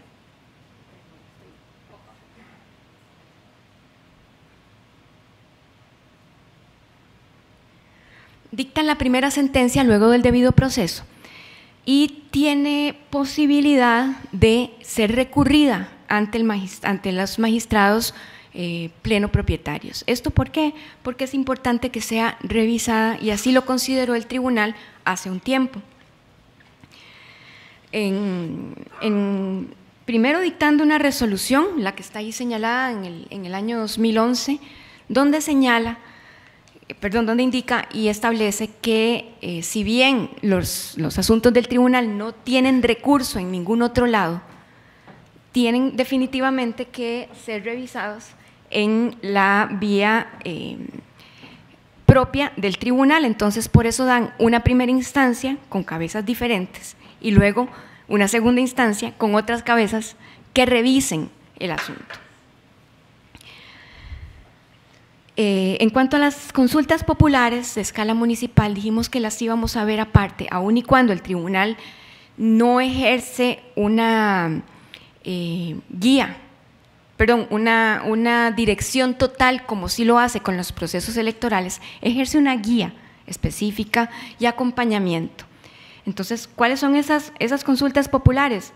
El plebiscito, no, no voy a leer lo que significa porque pues la verdad está el texto allí, pero puede ser tanto para eh, asuntos de trascendencia cantonal como para la destitución o revocatoria del mandato de, mandato de alcaldía y vicealcaldías. Eso está en el artículo 19 del Código Municipal en cuanto se refiere a las alcaldías. También está el referendo, perdón, que tiene que ver con la modificación, eh, aprobación o derogación de reglamentos o disposiciones a nivel municipal y el cabildo, que es una reunión pública del Consejo eh, abierta o cerrada, dependiendo de cómo lo convoque el propio Consejo. ¿Cómo el tribunal acompaña y guía? Bueno, dictó en el año 98 un manual para la realización de esas consultas.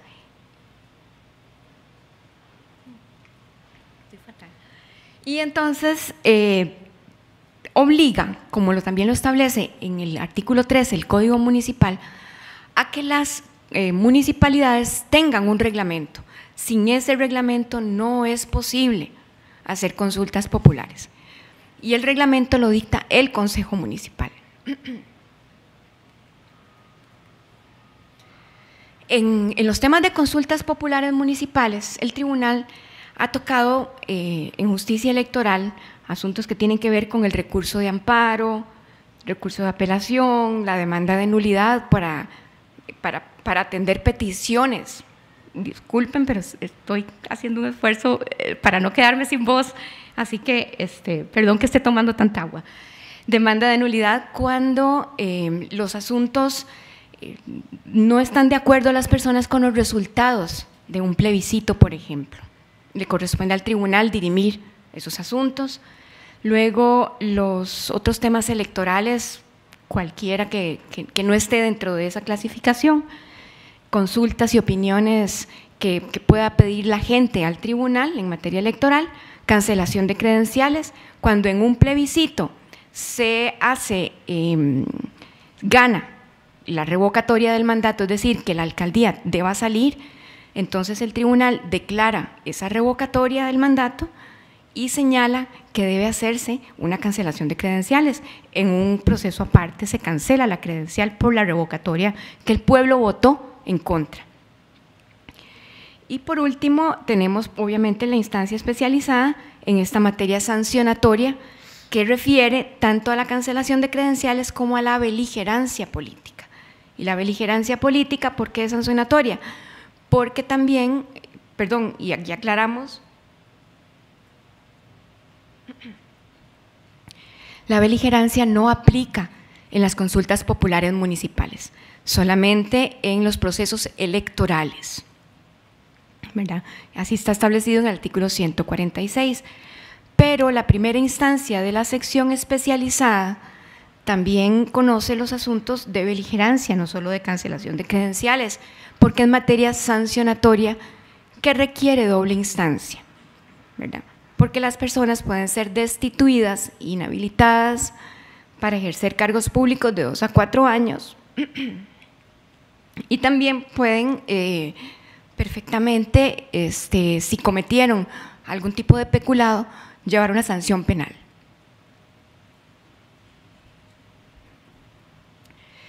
Eh, algunos pronunciamientos del tribunal, bueno, ya los hemos ido viendo un poco a lo largo de la, exposición. Eh, específicamente en qué, en qué temas.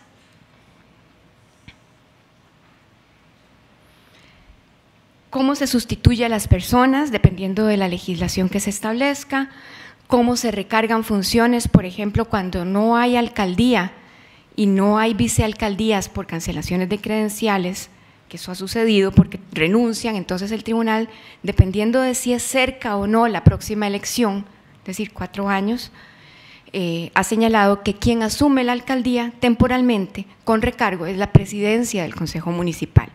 Entonces esas son reglas para poder ejercer los cargos a los que fueron electas que corresponde al tribunal definirlas porque la ley no establece claridad en ese sentido. También cuando alguna persona se independiza eh, de su partido por el que fueron electas, entonces el tribunal también ha definido que si bien esa persona sigue ejerciendo el cargo porque no renuncia a, su credencial, eh, es independiente, pero si es suplente, tiene que sustituir a quien tenga la propiedad, ¿verdad? aun y cuando sean partidos diferentes. También em, para participar en política electoral, ¿qué pueden hacer las personas? Sacar vacaciones, licencias, permisos em, y eh, también ha establecido el tribunal que el artículo 142 del Código Electoral, que señala que no se debe hacer em, énfasis o publicidad de la obra pública, el tribunal ha aclarado que es para elecciones nacionales, no para elecciones municipales. Pero con el cuidado del artículo 146, es decir, que no hagan la participación política prohibida.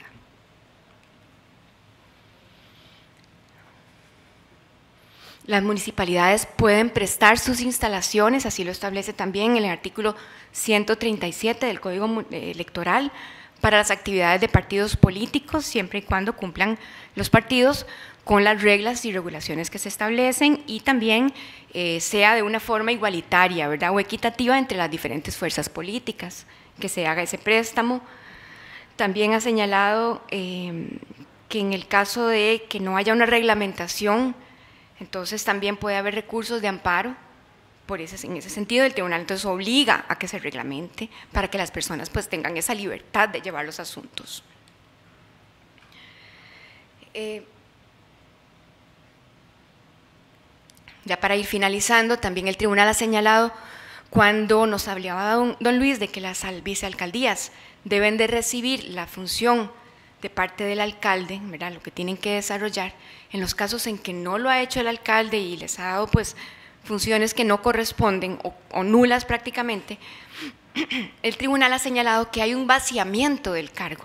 Entonces ha declarado con lugar recursos de amparo a favor de las vicealcaldesas, si me refiero a vicealcaldesas porque en su mayoría, si no todas, han sido las que han sufrido ese problema y han interpuesto los recursos. Eso sería todo lo que hemos hablado en este momento o hasta este momento está en estos módulos en la web y se les invita pues a visitarlos y si no pues nosotros también a la orden en, en los contactos que aparecen ahorita en la última diapositiva. Más bien quedo a la orden para las consultas posteriores. Gracias.